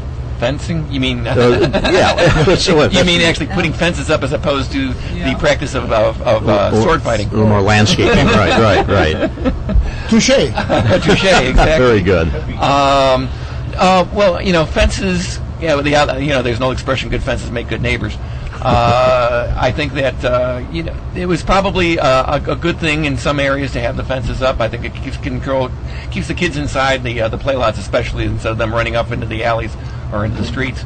So in that regard, plus there is an aestheticness of it that kind of looks kind of cool because these these are steel fences, but they look like they're iron. And, uh, Right, right. and so they can, it's kind of is evoking the old fashioned. I understand Mayor Daley went to yeah, Paris and got inspired by seeing all the fences around. They also um, right. certain areas we just get the lawn would get trampled as a shortcut, you know, something Mm-hmm. like that. Yeah. Well, I see Portage Park, and you know, Portage Park has got a fence around. You know, you wonder how the hell do you get in there? You know, there's only a couple of ways I would think to get in.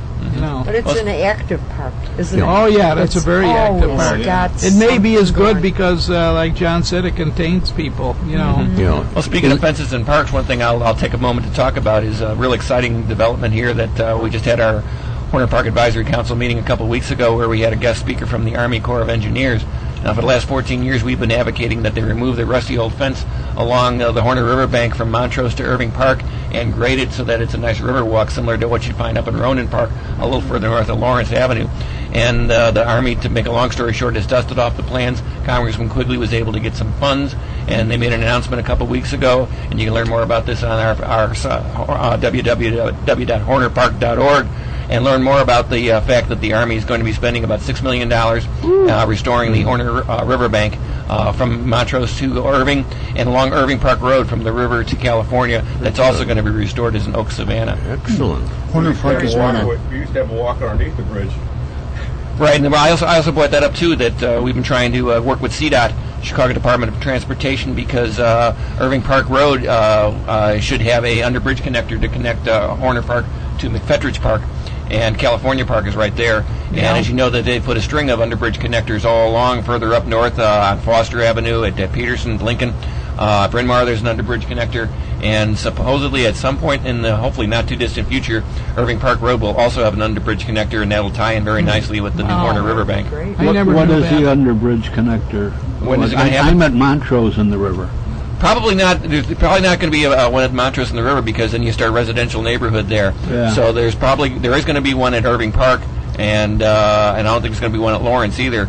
But I, I think there is going to be one at Irving Park It'd be nice if they had one at Montrose to keep the bums out from underneath that. Uh, Oh, I know it very well. I was I was River Day captain at Horner Park just last weekend, and uh, we uh, unfortunately you do see some homeless people Oh, there yeah. as we're as we're cleaning out the uh, debris that they leave behind. you know, like Lower Wacker used to be. Oh boy. Lower yeah. Every, every so often, those places get washed out, though.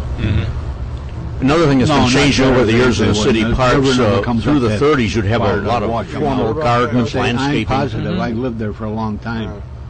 But the thing is, is you got those people that live underneath there, and then they start walking around the neighborhood, and Yeah. uh, you'll get a break in here and a break in there. Well, they used to have, uh, years, when I were, lived in that area, they used to have the uh, houseboats there for a long mm-hmm. time. Oh, yes, yeah. And then they, they started sinking and all this other stuff, so it created more of a problem than anything else. Well, everybody tried to put up a pier too, and Well, one that's the pier other was after another one. And Did the city take down some of those piers? I think that there was a move no, to they're do having a little fight with that. And the there's fact a, that- it's in the it's in the courts right now. Oh, is it Yeah, so? But because we, we are involved. Our building is involved. Well, the it's, thing is, it's, it's a it's a city pro. It's actually waterfront property. It's, it's water, Water Metropolitan Water Reclamation. Reclamation District uh, built the river up over 100 years ago. As you know, the river on the north side used to meander around. So this is really a channelized river.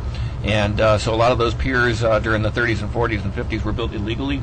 I believe there some of those are grandfathered in. I believe that when we had the floods a couple weeks ago, some of those uh, piers got taken out. They can't be replaced now. Once they're gone, they're gone. yeah, there's no insurance on them either because they can't get insurance. That's a good But they are they are an invasion, if you will, of the prism. The rec- Water Reclamation District considers anything where the water level is, they call that their prism, and anything invading in that prism, as far as they're concerned, that's an invasion. And their mission is to keep the water flowing. Yeah. No. John, I was making the point before, uh, kind of taking a historical perspective uh, through the 30s. I'm thinking, you know, especially of Independence Park, fairly large Okay. park on the north side. Sure. A lot of landscaping, formal gardens identified. It then it seemed like in the 40s and 50s, a lot of that landscaping was taken out. You put athletic fields, track. Um, Basketball courts. yeah, yeah. You just take out almost all the landscaping. Now there seems to be a swing back to restoring some of that landscaping. And I wonder if you and the Well, that's Yeah. true also with Portage Park. Uh, Was that They out? had a lot of fountains there and everything else at one time. They took them all out. They cut a lot of shrubs out. They Remember those? There was, there was a boogeyman in every shrub. Yeah. Yeah, yeah, that was. I think that went along with the move toward the fences. You take out a lot of the landscaping bushes to avoid uh, muggings and things like that. Probably the most famous of all the uh, of all the uh, formal gardens in Chicago is at Humboldt Park. We mentioned Jens Jensen earlier, and as you know, Jens Jensen was uh, the uh, uh, in charge of landscaping for the uh, South uh, Park Commission before they were all consolidated as part of the Chicago Park District. And so Jens Jensen's uh, is his uh, most famous park, of course, is Columbus Park out on out, out near the Eisenhower Expressway in Austin. But uh, Jens Jensen designed the formal garden at Hum- Humboldt Park, and if you have ever been there, uh, go along Humboldt Boulevard and you see the with the two uh, buffaloes there. Uh, it's a lovely uh, formal garden that's still there with a pergola around it. Uh, there are some par- parks. Part of the problem was trying to get formal par- uh, gardens into parks is that you're going to have to try and get pe- local people to maintain it. The Park District has certain rules. For instance, there are a lot of uh, communities that want to do uh, vegetable gardening in the parks, and that has to go through quite a few- few hoops before the uh, Park District will approve that, such as access to water, make sure it gets watered, and things like that. So you can't just go and put a spade in the ground and say, I'm going to put a garden in here. You have to go through uh, certain regulations through the Park District, and they have to monitor it, and they have to make sure that, you know, you can maybe make this thing nice now, but if you're not here, you know, 10 years from now, who's going to maintain this? And no medical marijuana either now. Yeah. The other thing used to be nice, they medical used to have more conservatories in the park system too at one time. Douglas Park had one, That's right. and they're Uh, all gone except for Lincoln Park and uh, Washington. Uh, Uh, no, Garfield Park is the, is the big, uh, the big famous one, which also was designed by Jens Jensen. In fact, if you look at the main uh, firm room, or the main room rather, at the Garfield Park Conservatory, it's built to look like a haystack. yeah. And uh, yeah, a lot of people don't know that. I'm glad you brought that up. That a lot of the parks in the 1880s, 1890s, uh, I think were inspired by the Crystal Palace in London.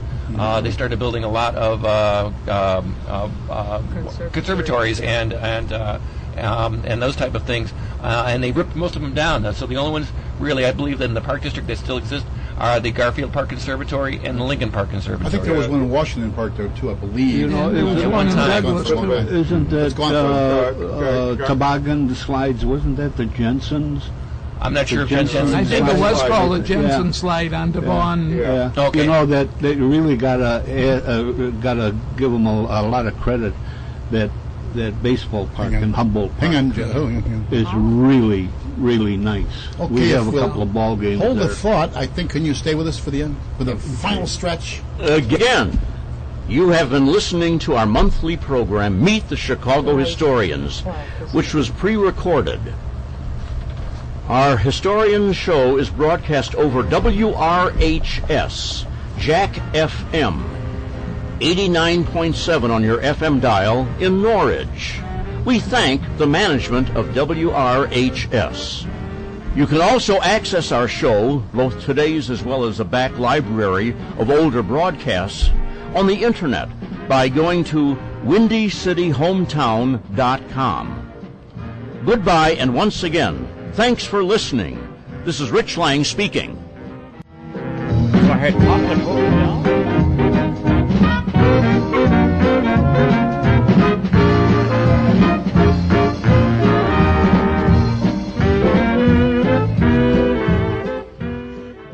You have been listening to Meet the Chicago Historians from the John DiVita Broadcast Center on the Windy City Hometown Entertainment Network on Monday, May the 20th, the year 2013. This broadcast was produced and directed by John DiVita, engineered by James Rody, and edited by Stephen Lehman. This program was pre-recorded.